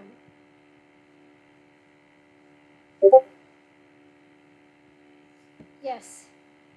Yeah, I am. Okay. Okay. Yeah, Wong plucked the phone out of Kyoshi's hand and snapped it open. He tossed it into the air and spun it perfectly around its pivoting pin. The leaf tracing circle, the leaf tracing circles as, as it flew. He twirled around himself and caught the fan behind his back before lifting it coquettishly to his face. The peony shed, sheds its beautiful. The peony sheds its beauty before the moon he sang in a deep, beautiful, vibrant voice, using the surface of the fan to reflect and amplify the sound. Shamed by the light of a spirit so pure, I leap to catch its petals and mourn what I have left unsaid. He thrust the fan all around him in a series of flitting gestures, the leaf opening and closing rapidly like a beat, like the beating of insect wings. It was an expert it was an expertly performed dance, but Kyoshi knew it could have also been a secret a sequence of attacks, defensive weaving, evasion, and retaliation against multiple opponents. With a flourish, Wong ended the performance in a traditional heroic pose, a deep stance with his arms spread wide, his head intentionally wobbling side to side with the leftover energy from his motions. It was a showcase of classic poetry, older than old school. Auntie Mui mm, would have fainted with delight. Kyoshi applauded, the only appropriate response to a display of skill that great. Where did that come from? she asked. Hark, we have a lineage through your father's side that traces back to one of the royal theater groups in Ba Sing Se. Kirima said. And we stay sharp enough at performing to have plausible cover in the cities we visit. We're the Flying Opera Company, after all. She raised the leg behind her, over her head, and kept it going until she completed a forward facing, no handed cartwheel, a move that elite dancers saved for the climax of their performances. Kirima looked like she could have done her market shopping traveling that way. Kyoshi was astonished. That would, that would explain how they were so light on their feet. Royal theater performers were known to be some of the most physically capable people in the Earth Kingdom, able to mimic dozens of martial styles on the stage and act out dangerous stunts without getting hurt. It made her feel better about the agreement they'd struck she could get some extra value out of the bargain. Wong folded the fan and handed it back to her. I'll teach you to use this. he said. For a fifth of your shares on any future jobs we do. Deal, she said quickly. She didn't know what shares were, but she would have paid nearly any price to better understand her weapons. Rangi and Kirima both smacked their hands against their foreheads, but for different reasons. You could have gotten at least half, Kirima said to Wong. Lek popped his head around the side of Peng Peng.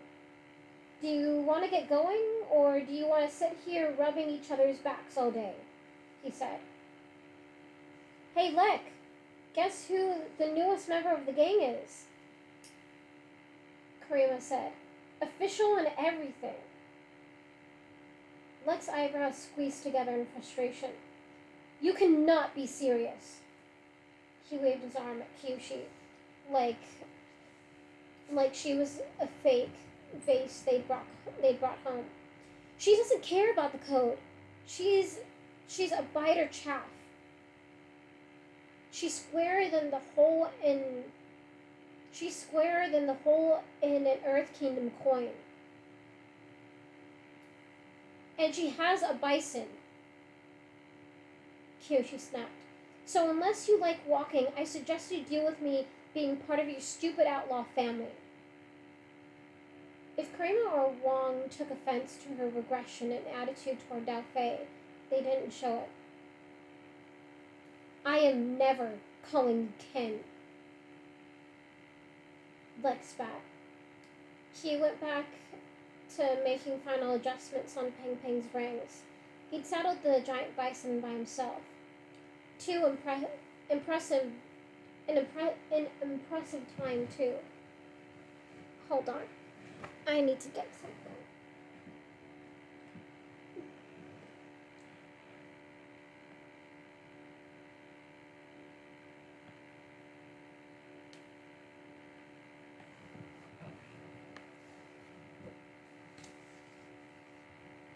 Alright. Uh, yeah. I am never calling you Ken. Uh, Lek spat. He went back to making final adjustments on Peng Peng's rings. He'd, he'd saddled the giant bison by himself. And an impressive time, too. Neither Kyoshi nor Rangi could find any fault with the work he'd done as they mounted Pengpeng. Lek took offense at their exclamation. I know what I'm doing, he said. I probably have more practice than you two.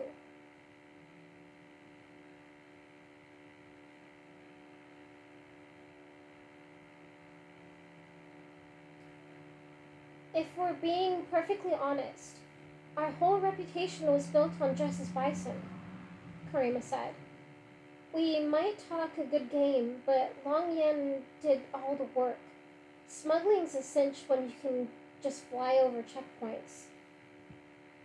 She and Wong finished loading and climbed onto Pengpeng's back. Rangi marked her territory in the driver's seat, daring Lek to challenge her for it. He compensated for his downgrade in, a peck, in the pecking order by pulling a crude map out of his pocket. Real leaders navigated and scheduled. We're going to a meeting post in the mountains outside Ba- We're going to a meeting post in the mountains outside Ba Sing Se, he said, denting the paper with his finger. We'll get the latest news from other groups and find an easy and find a few easy jobs to get our feet back into the water. Rangi lifted off. The late morning sun had yet to turn oppressive, and with the prep work having been done by extra hands, Pengpeng's unhurried climb into the cool air almost felt relaxing. How did the two of you get a bison? Lek's sudden question was tinged with suspicion and jealousy. Neither of you were raised air nomad, he said, and this girl would never let you fly her unless she, she'd already known you for a long time. Did you steal her from an airbender friend? In her head, Kyoshi silently thanked Lek for a moment. In her head, Kyoshi silently thanked Lek, thanked Lek for reminding her of her duty. This is what she needed to say. This is where she needed to stay. Down in the muck, hidden, painted in hatred for herself and her enemy, not flying in the wind with Kelsang. Yes, Kyoshi said. I did. Rangi gave her a worried look, not understanding why she'd lied. Lek shook his head in disgust. Separating a monk from their bison, he said. That's cold. Though I should have expected such low behavior from someone who doesn't respect their mother and father. Kyoshi said nothing and stared into the distance, where the horizon broke into jagged formations against the, against the sky. The empty feeling was good. The it it absolved her of choice, allowed her to think for herself as merely a vessel. Allowed her to think of herself as merely a vessel, an agent of balance. But her tranquility was broken when she noticed something was missing. Yeah, she. But her tranquility was broken when she noticed something missing. Wait, she said, turning around in the saddle. In the saddle. Where's Lao Ge? And that is the end of that chapter. And then I think this might be the last chapter I do. Is the next chapter after that? No, it's a pretty long chapter. Oh, wow. It is a very long chapter. Oh my god. Jesus, that is a long chapter. Yes, this is the last chapter I'm going to do. Because, Jesus, the next. The next chapter after that is like 30 pages. And I'm just like, I'm not going to read that. Okay. So now the next. Uh, the next a uh, chapter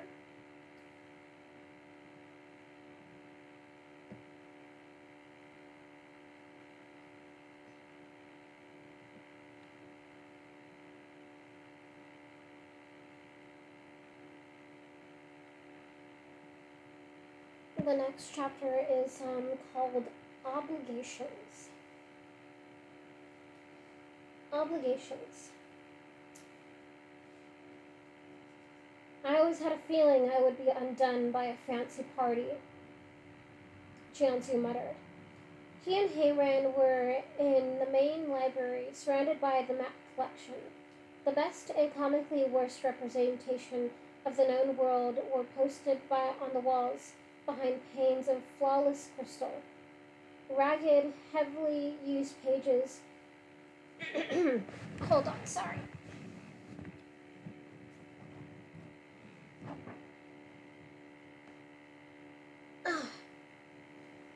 Sorry, I just gotta adjust myself again.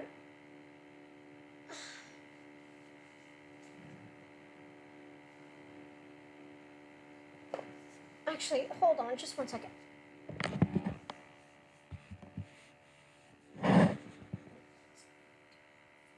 Okay.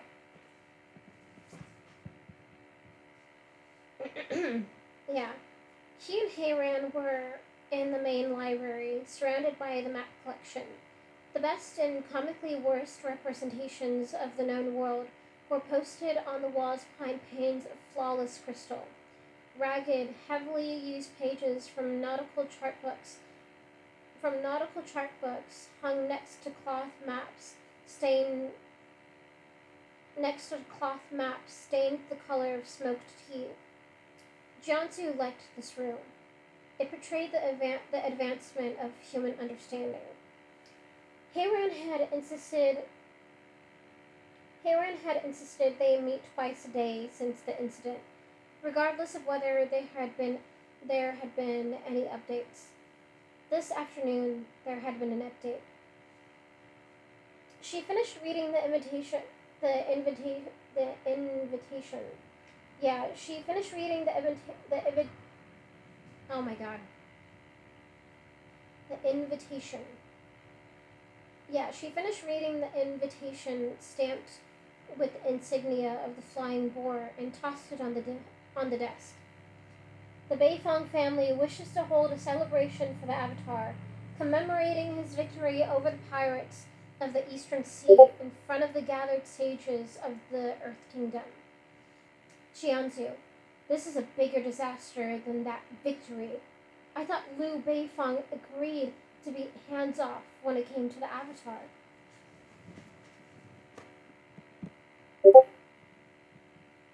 Tough. Oh, yeah. Man, the Beifongs were very prominent back then. Yeah, it goes to show how prominent they were. Yes.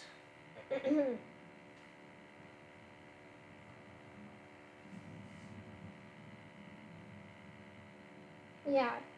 Jianzhu, this is a bigger disaster than that victory. I thought Liu Beifong agreed to be hands off when it came to the Avatar. He did. It's Hui who's behind this. Jianzhu rolled the letter opener between his fingers, longing for a sharper implement and something to stick it in. He had been at this game for the past year or so, whispering in Liu's ears that training the Avatar shouldn't be left to a man of such humble origins. He put the blunt metal knife down. Hui may have a point. Look how Kuruk turned out. We were kids back then, and so was Kuruk. Hei-Ran said. It wasn't our responsibility to raise him. Hui still represents. Not. Hui still presents it as a strike against us, Jianzhu said. Did Shah respond about the Shirshas? No. And even if he did, there wouldn't be enough time before this party. One thing Hei-Ran shared with Jianzhu was a disdain for frivolities. Frivolities. She cracked her knuckles. We could say the Avatar is sick.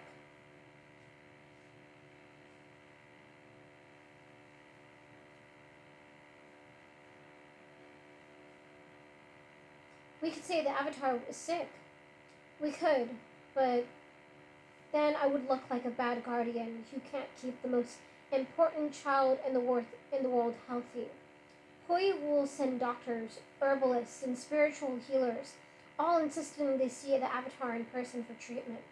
Every time we turn his agents away, it'll it'll sow more suspicion against amongst the other sages.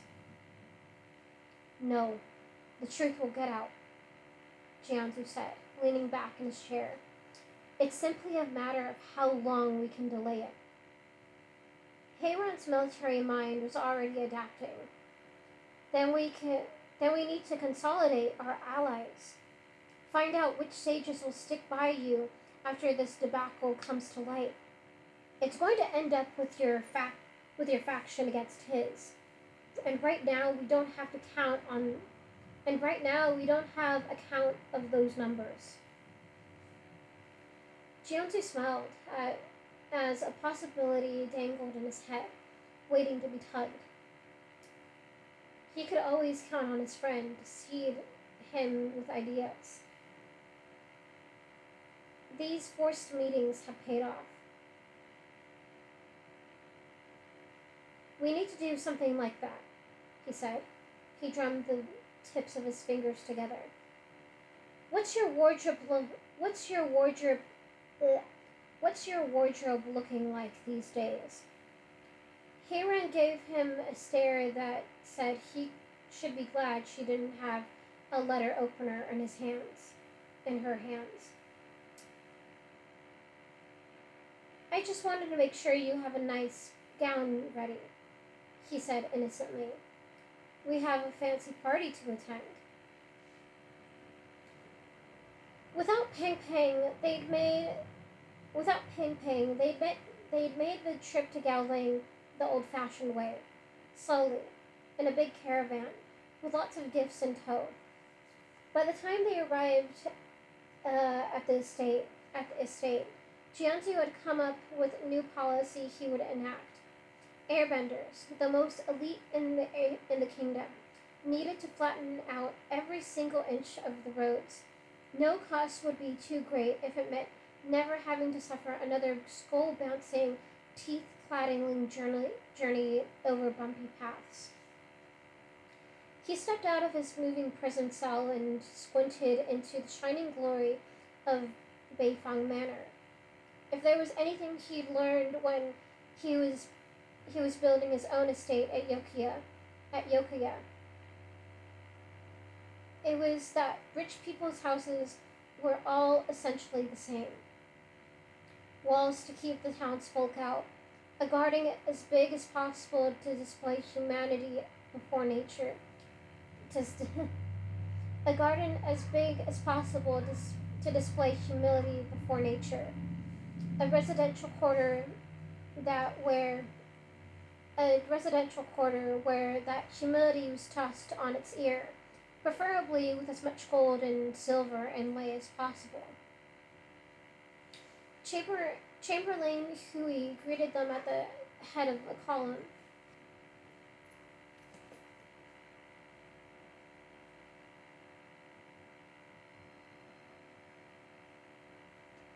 Hold on.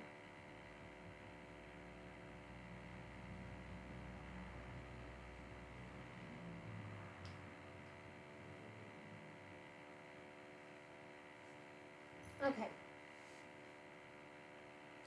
Uh, where was I? Yeah, Chamberlain Hui greeted them at the head of a column of footmen. The short, stocky bureaucrat shielded himself from the sun with a parasol. Master Jianzhu, he said, raising the shade to reveal a grizzled, brick-like face. It always surprised Jianzhu how the man looked as if he spent his days breaking rocks with a pickaxe, when the heaviest object he lifted was his master's ivory seal. How was your journey? Unnecessary and grating, like you. Most pleasant, Chamberlain Hui. Most pleasant indeed. It always, it's always the utmost delight to serve our magnificent nation up close. Yikes. Oh, yeah. Oh, yeah. Yeah, but he was, that was his inner monologue. Of course he wouldn't say that. But yeah, fucking the spite. The spite he has. Most pleasant, Chamberlain Hui. Most pleasant indeed. It's always the most. It's always the utmost delight to survey our magnificent nation up close.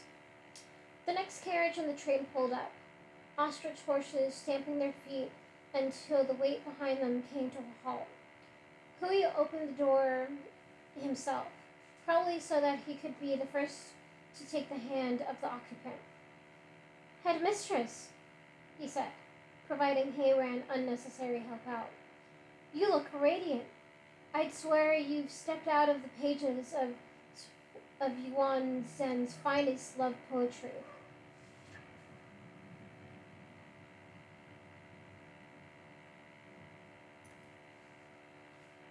Yeah. You look radiant. I swear you've stepped out of the pages of Yuan Zen's finest love poetry. He angled his parasol as if the sun would be deadly on her skin. It wasn't like heat and light from the sky were the source of her incredible powers. No.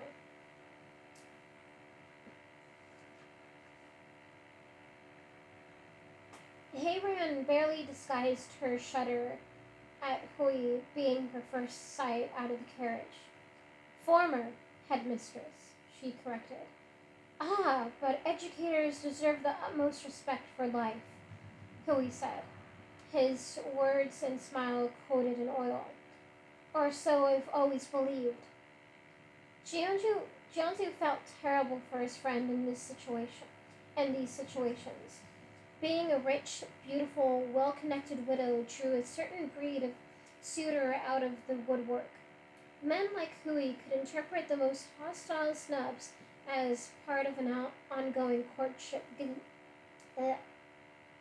Men like Hui could interpret the most hostile snubs as a part of an ongoing courtship dance, refusing to consider the possibility that Hei-Ran wanted nothing to do with them.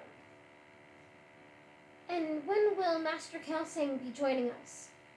Hui said, his fingers lingering on Hei-Ran's, and until she yanked them away.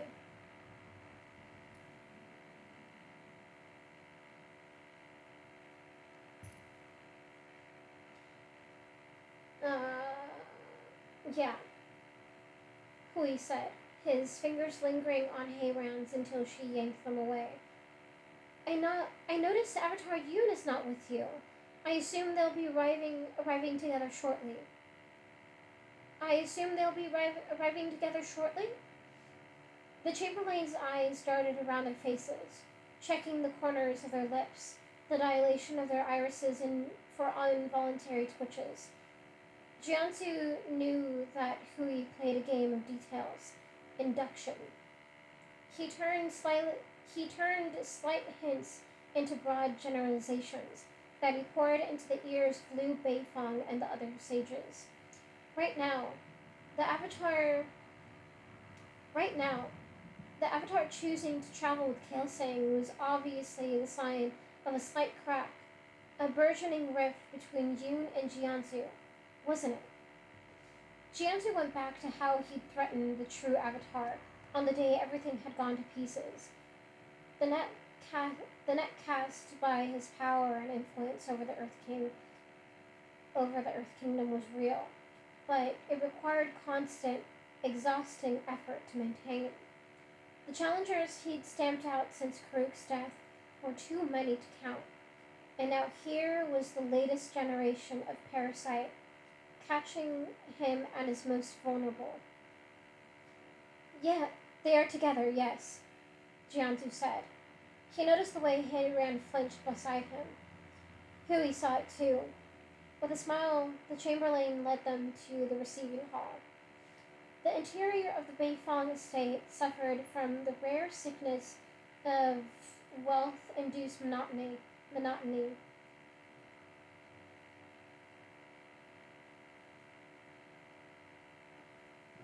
Saying that right, right? I think it's monotony.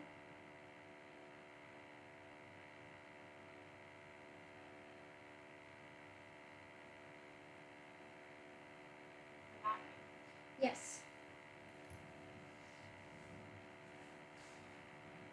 Um, the interior of the Beifong estate suffered from the rare sickness of wealth-induced monotony. It was covered from floor to ceiling in the same queasy brownish green paint that had one that had that had at one point been the most expensive shade in the Earth Kingdom. It was meant to show off just how rich the family was, but these days the main effect it had was making Jianzhu feel like he was that it, it meant to show off just how rich the family was. But these days, the main effect it had was making Jianzhu feel like he was being slowly digested in the acidic maw of a scavenger. At the gullet of the columned hall was a double-seated di- dais where, over many generations, the leader of the Beifong clan and their spouse had held court. These days, only one side of it remained occupied Liu Beifong, Jianzhu's old, old master, sat on the sat on the oversized throne, his dust his dust colored robes making a tent around his wizened head at the peak.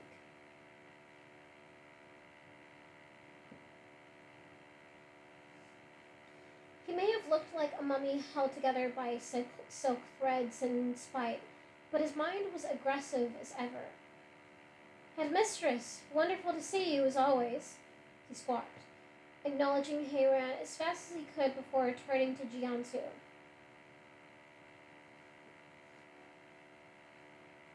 What's this about? What's this about a loan for the Southern Water Tribe?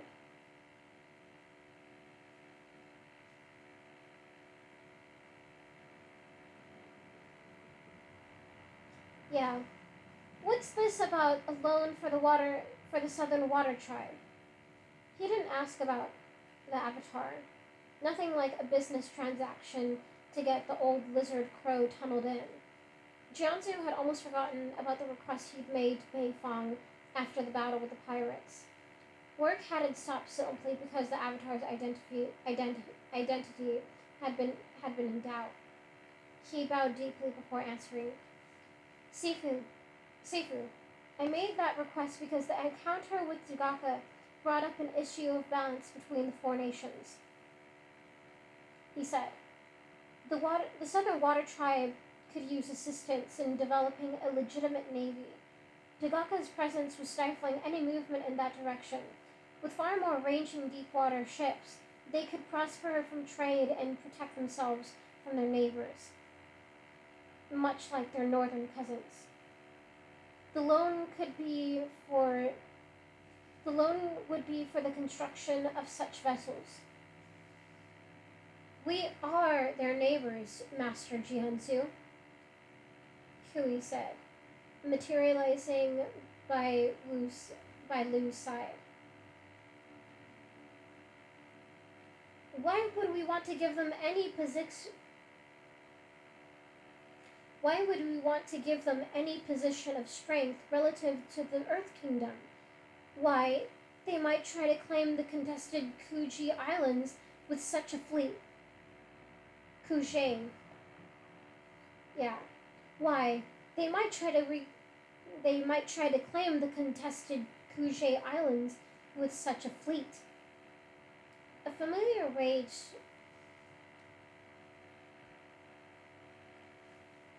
a familiar rage raised the hairs on the back of Jianzhu's neck.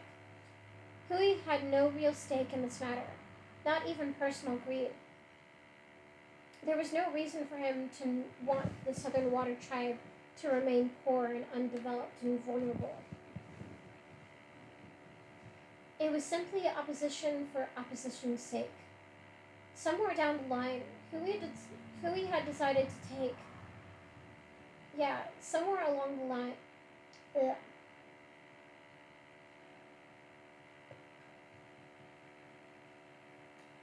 Yeah, somewhere down the line, Hui had decided to take to make his name by using Jianzhu as a ladder. And Straw Man. Hold on, sorry, I wasn't paying attention and I'm not getting the pun. I'm not getting it in my head. Uh, it was simply opposition for opposition's sake. Somewhere down the line, Hui had decided to make his name to make his name by using Jianzhu as a ladder and a straw man, and whatever other analogy applied. It was easy for Hui to gain political power and fame by tearing down Jianzhu's work, then doing his own. No matter how logical and beneficial Jianzhu's actions were, Hui would, Hui would undercut them. He pushed to end treaties that had taken years to develop pushing, brushing them off as unnecessary when in truth he didn't understand how they worked and didn't care. He stoked petty he stoked petty rivalries he didn't have to, toying with peace that Jianzhu had earned. Had Hui been around during the height of the Yellowneck atrocities, he would have insisted on treating that madman Zhu Ping, Zhu Ping An like an, like a folk hero.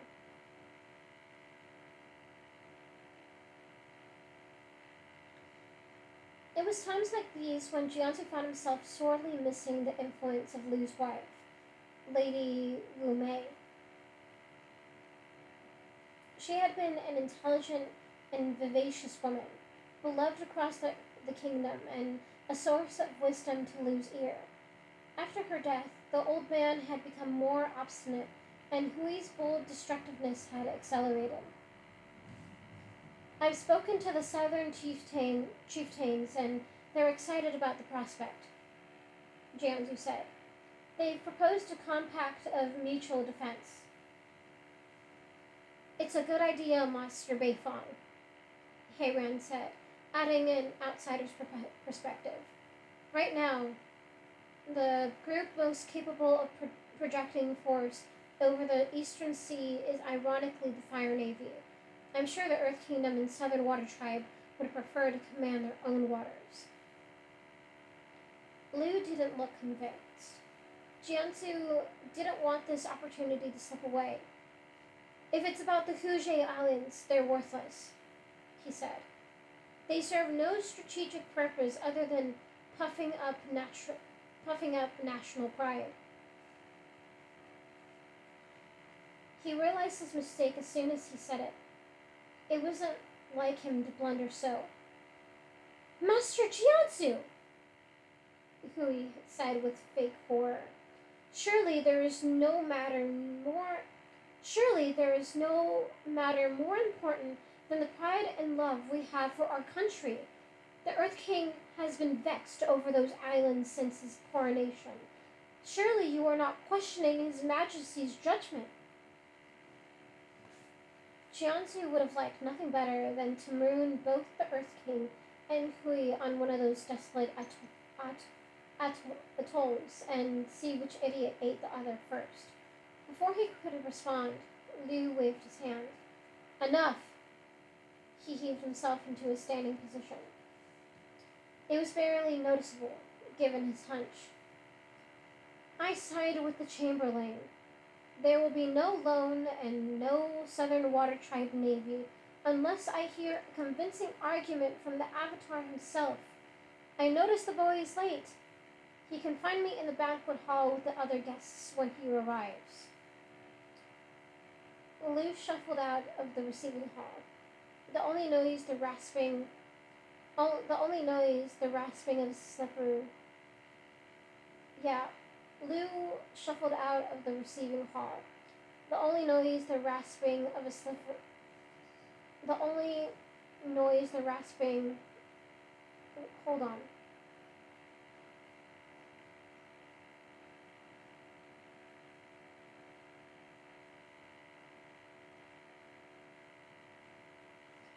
I think there's a typo in here or lack of wording here.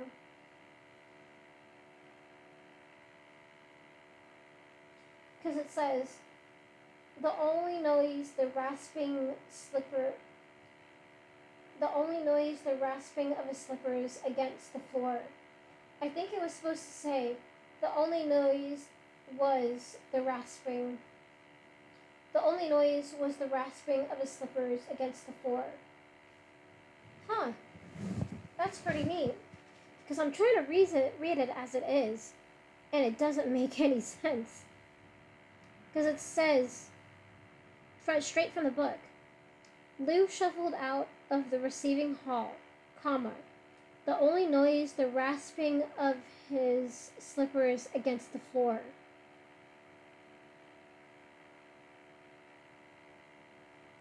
Yeah, I think there was supposed to be a. I think it was supposed to be the only noise was the rasping of his slippers against the floor. Huh. I think I found like a, a an error in this book.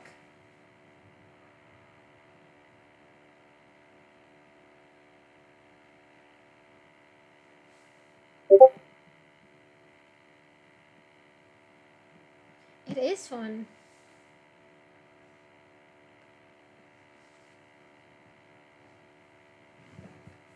Alright, let me say it again. Liv shuffled out of the receiving hall. The only noise was the rasping of his slippers against the floor. Jianzhu couldn't believe it. Just like that, the future had changed for the worse. The Southern Water Tribe would remain impoverished and outpaced by the rest of the world, all because Hui wanted to win a debate at a party. The stupid, smug whims of one unworthy man had left fingerprints on history that weren't likely to be erased. The Avatar could have made the difference. Jianzhu reminded himself. The thought stuck through him like a stuck through him like a javelin. Master Jianzhu, I apologize for making a counter argument, Hui said, but as you know, it's my duty to Master Beifong to make sure both sides are considered in any important decision. Both sides was a rhetorical weapon used by hypocrites and the ignorant. As far as Jianzhu was concerned, Hui was no better than a Fei, wantonly burning fields of grain because he enjoyed watching the smoke rise before the horizon. I would show you what I do to Fei. Chamberlain, it's quite all right, Jianzhu said. I always appreciate your voice in such matters. He hesitated, adding a hitch of uncertainty to his body language, the trembling of a man who was hiding the strain of a great burden. In fact, I need your wisdom more than ever right now. Can you join me and the headmistress to talk in private?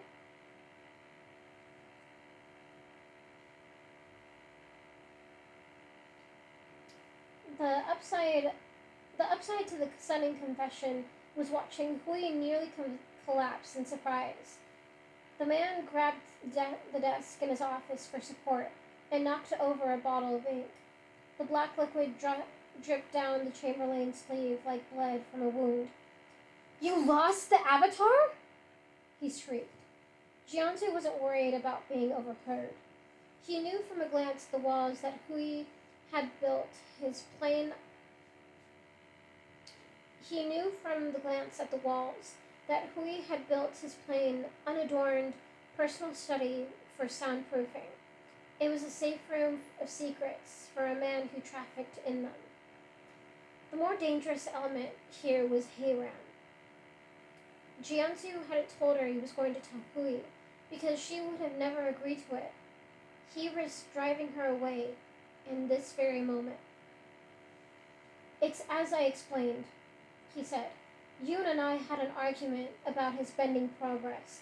More than an argument, really. I said things to him I should never have. I should. I never had. Sh- uh, I said things to him I never should have said. It got out of hand and he ran away with Kelsang's help on a bison. The two of them could have gone anywhere in the world.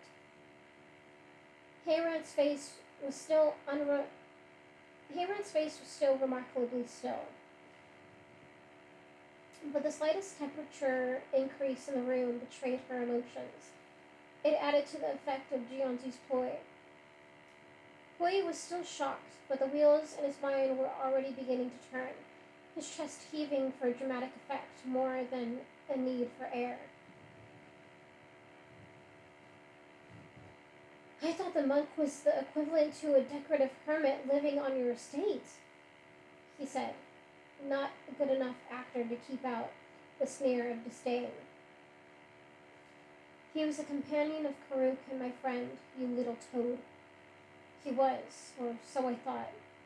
I didn't realize he'd been plotting, waiting to seize the right moment. Our relationship had suffered over the years, but I could never have but I could never have expected to this extent. Jianzhu punched the air, letting his real frustration shine through. It's Yun I should have understood better. I don't know if the damage can ever be repaired. It can't be that bad, Hui said, hoping with his entire heart that it was truly that bad. Children are volatile at that age. He, he swore upon his own avatarhood that he would never accept me as his master again. Jianzhu ran his thumb and forefinger over his, over his eyes. Chamberlain Hui, I am begging you for assistance here. The stability of our nation is paramount. If word gets out that Yun is gone, has gone rogue, there then there will be chaos.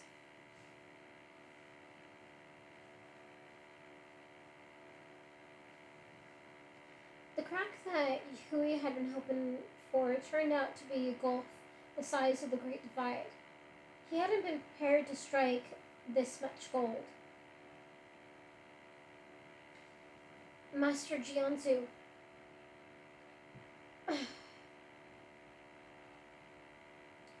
Master Jianzhu. There are several promise, prominent Earth Kingdom sages, including our benefactor, waiting for the Avatar in the Grand Hall, he said, thrusting his hands at the walls. Jianzhu never Jianzhu put on a mask he'd never worn before. Helplessness. He let his silence answer for him. Hui composed himself, wanting to reflect the new state of affairs. He was the man in charge now. He straightened his collar and clicked his heels together. Unfortunately for him, he also forgot about the ink on his sleeve, ruining the effect of tidiness. Master Jianzhu, there's no need to worry, he said. I'll handle this. In the end, Hui told Liu Beifong and assembled sages the exact line that Jianzhu had used on his own on uh, yeah, in the end, Hui told Liu Beifong and the other and the assembled sages the exact line that Jianzhu had used on his own on his own household. Yun left Yun felt he'd been neglecting his spiritual studies. After much pleading, Jianzhu had given him leave to travel alone with Kelsey on a nomadic journey of self-discovery, avoiding such obvious destinations as the air temples or the northern oasis. Yun had been to those places. He needed to grow along his own path, un, untrammeled by expectations. It meant no, t- it meant no contact from the Avatar for a while. The world would have to get along without one until further notice. Jianzhu could have said as much. Jianzhu could have said as could could have said as much himself, but coming from Hui, the story has so much more effect. But coming from Hui, Hui, the story was so much more effective. It was an open secret among the party guests that the Chamberlain was waging political war against him. The only thing they could ever rely on were basic incontrovertible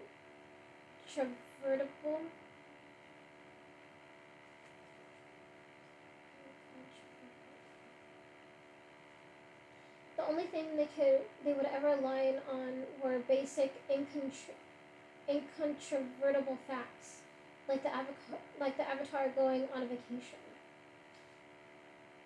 The rest the rest of the visit was spent on trivi- trivialities Jianzhu. Hold on. I need to adjust myself.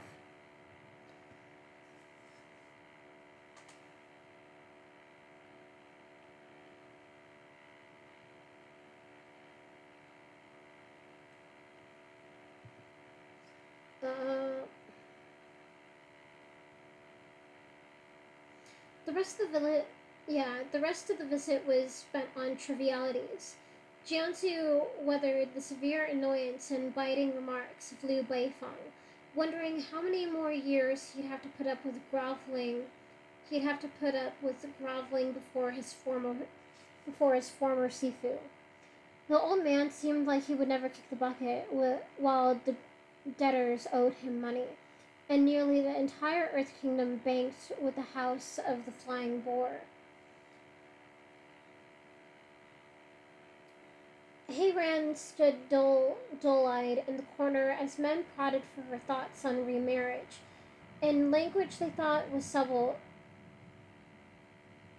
Yeah, Hei-Ran stood dull-eyed in the corner as men prodded for her thoughts on remarriage, in language they thought was subtle and flattering. Some of them, upon hearing her rebuff, immediately pivoted into into inquiring into into inquiring about her daughter. Jianzhu never understood how she resisted the temptation to bend scorched holes into the ceiling when her element was always available. They, le- they left when the party became too much to bear, getting into a single carriage for the journey back. Hei-Ran's admirers could have interpreted that in a certain way, but the two of them simply needed to talk. I know you're angry with me, Jianzhu said. He slumped back against his seat. About what? Hei-Ran snapped.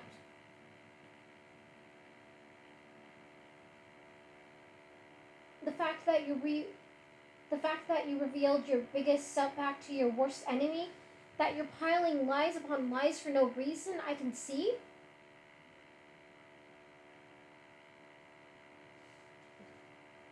That you're pi- yeah, let me say it again.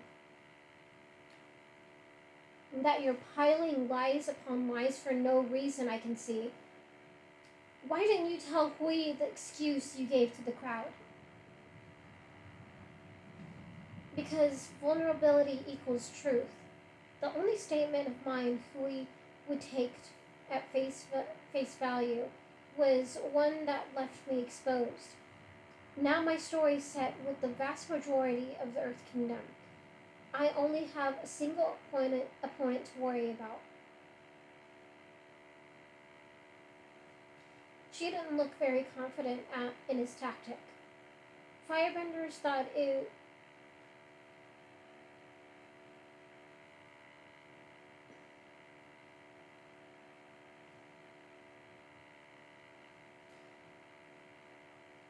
Yeah, she didn't look very confident in his tactic.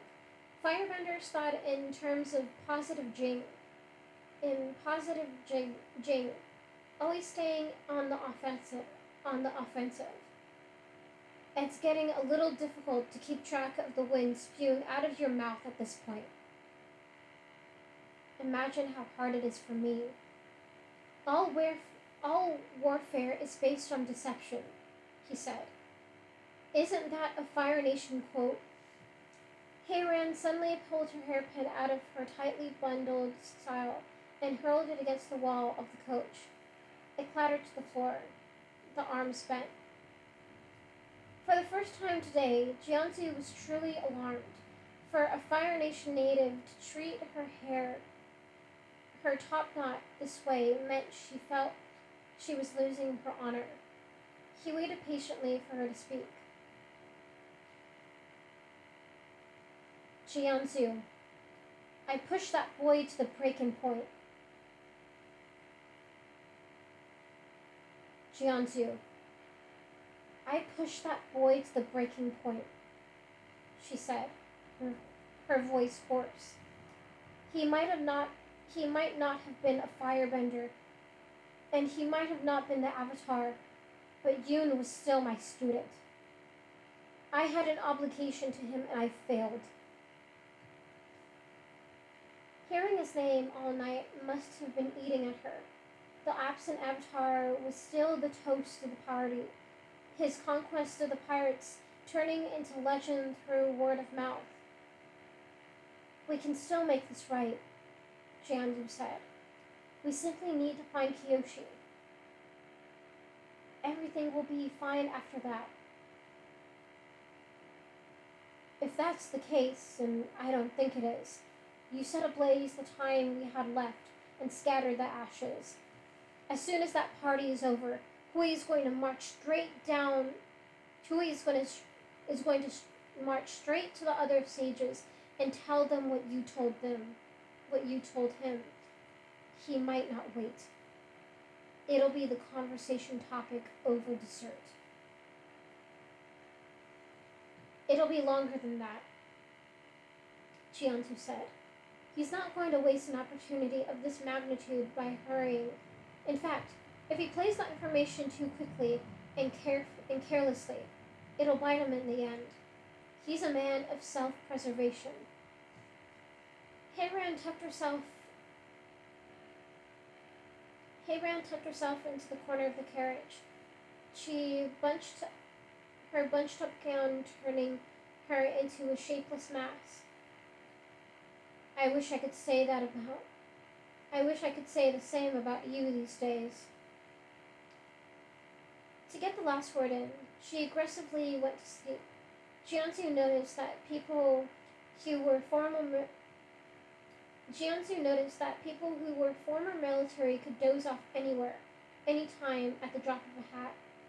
After an hour of silence, he began to drift in and out of consciousness himself, shaken awake by the occasional bump and road bump, his thoughts forming loose connections and ideas that he made no attempt to preserve. It wouldn't do it wouldn't do to plot too far out. Sometimes the best option was to sit quietly until the next step arrived in turn, like an airbender should, like an earthbender should. Neutral dream. When they arrived, when they arrived home in Yokoya, there was a very validating delivery. There was a very validating delivery for them waiting. Jianzhu didn't bother waking up Hei-Ran and hopped out of the coach, invigorated by the sight. In the distance, by the stables, were two extremely large wooden boxes, each the size of a small hut, peppered with little holes. The sides of the crate had danger and give, give wide berth painted on them in a slapdash manner. Surrounding them was a crew of underpaid university students, warily brandishing long fork, forked prods. They pointed their weapons inward at the boxes. Theft of the contents was not the primary concern. At the head of the group was a portly older gentleman in fine robes, wearing a helmet made of cork. He, gleared, he geared for adventure in the habit of academics. Yeah, he was geared for adventure in the habit in the habit of academics, who had no idea how dirty and blood, bloody true adventure could get. Professor Professor Shaw, Jianzhu called out. The man waved back. Behind him, the boxes suddenly started rattling and jumping, scaring the handlers. A long whip-like strand shot, shot out, shot out of a hole punched to the side, and lashed.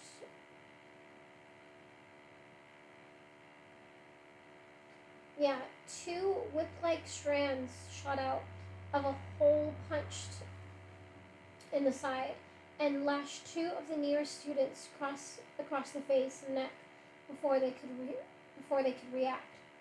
They screamed and collapsed to the ground in a heap like rag dolls. Professor Shaw looked at his downed interns and then gave Jianzhu a big grin and a thumbs up. That must have that must have meant the shirshus were in good health after their journey. Excellent. Jianzhu needed him Jianzhu needed them in peak condition. The beasts were the beast's impeccable sense of smell would let th- would let them track a, a target. Uh, The beast's impeccable sense of smell would let them track a target across a continent, oceans, if the rumors were to be believed. He'd sent he'd sent word out to his subordinates across the kingdom. The mag- the magistrates and prefects he'd spent years buying off, telling them to be on the lookout for two girls who had escaped his estate. But it never hurt to have a backup plan that didn't rely on the shifting loyalty and ballooning greed of men.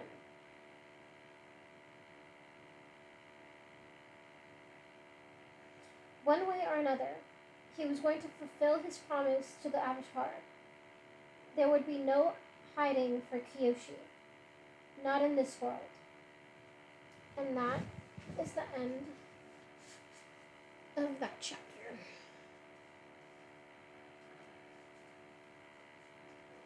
Aw, man. Aw, shit, man. What's gonna happen? What's gonna happen? Anyway. Thank you. Oh, shit. Thank you so much.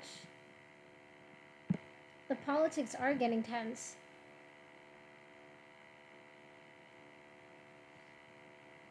Hell yeah. Alright. But thank you, everyone. Goodbye. See you next time.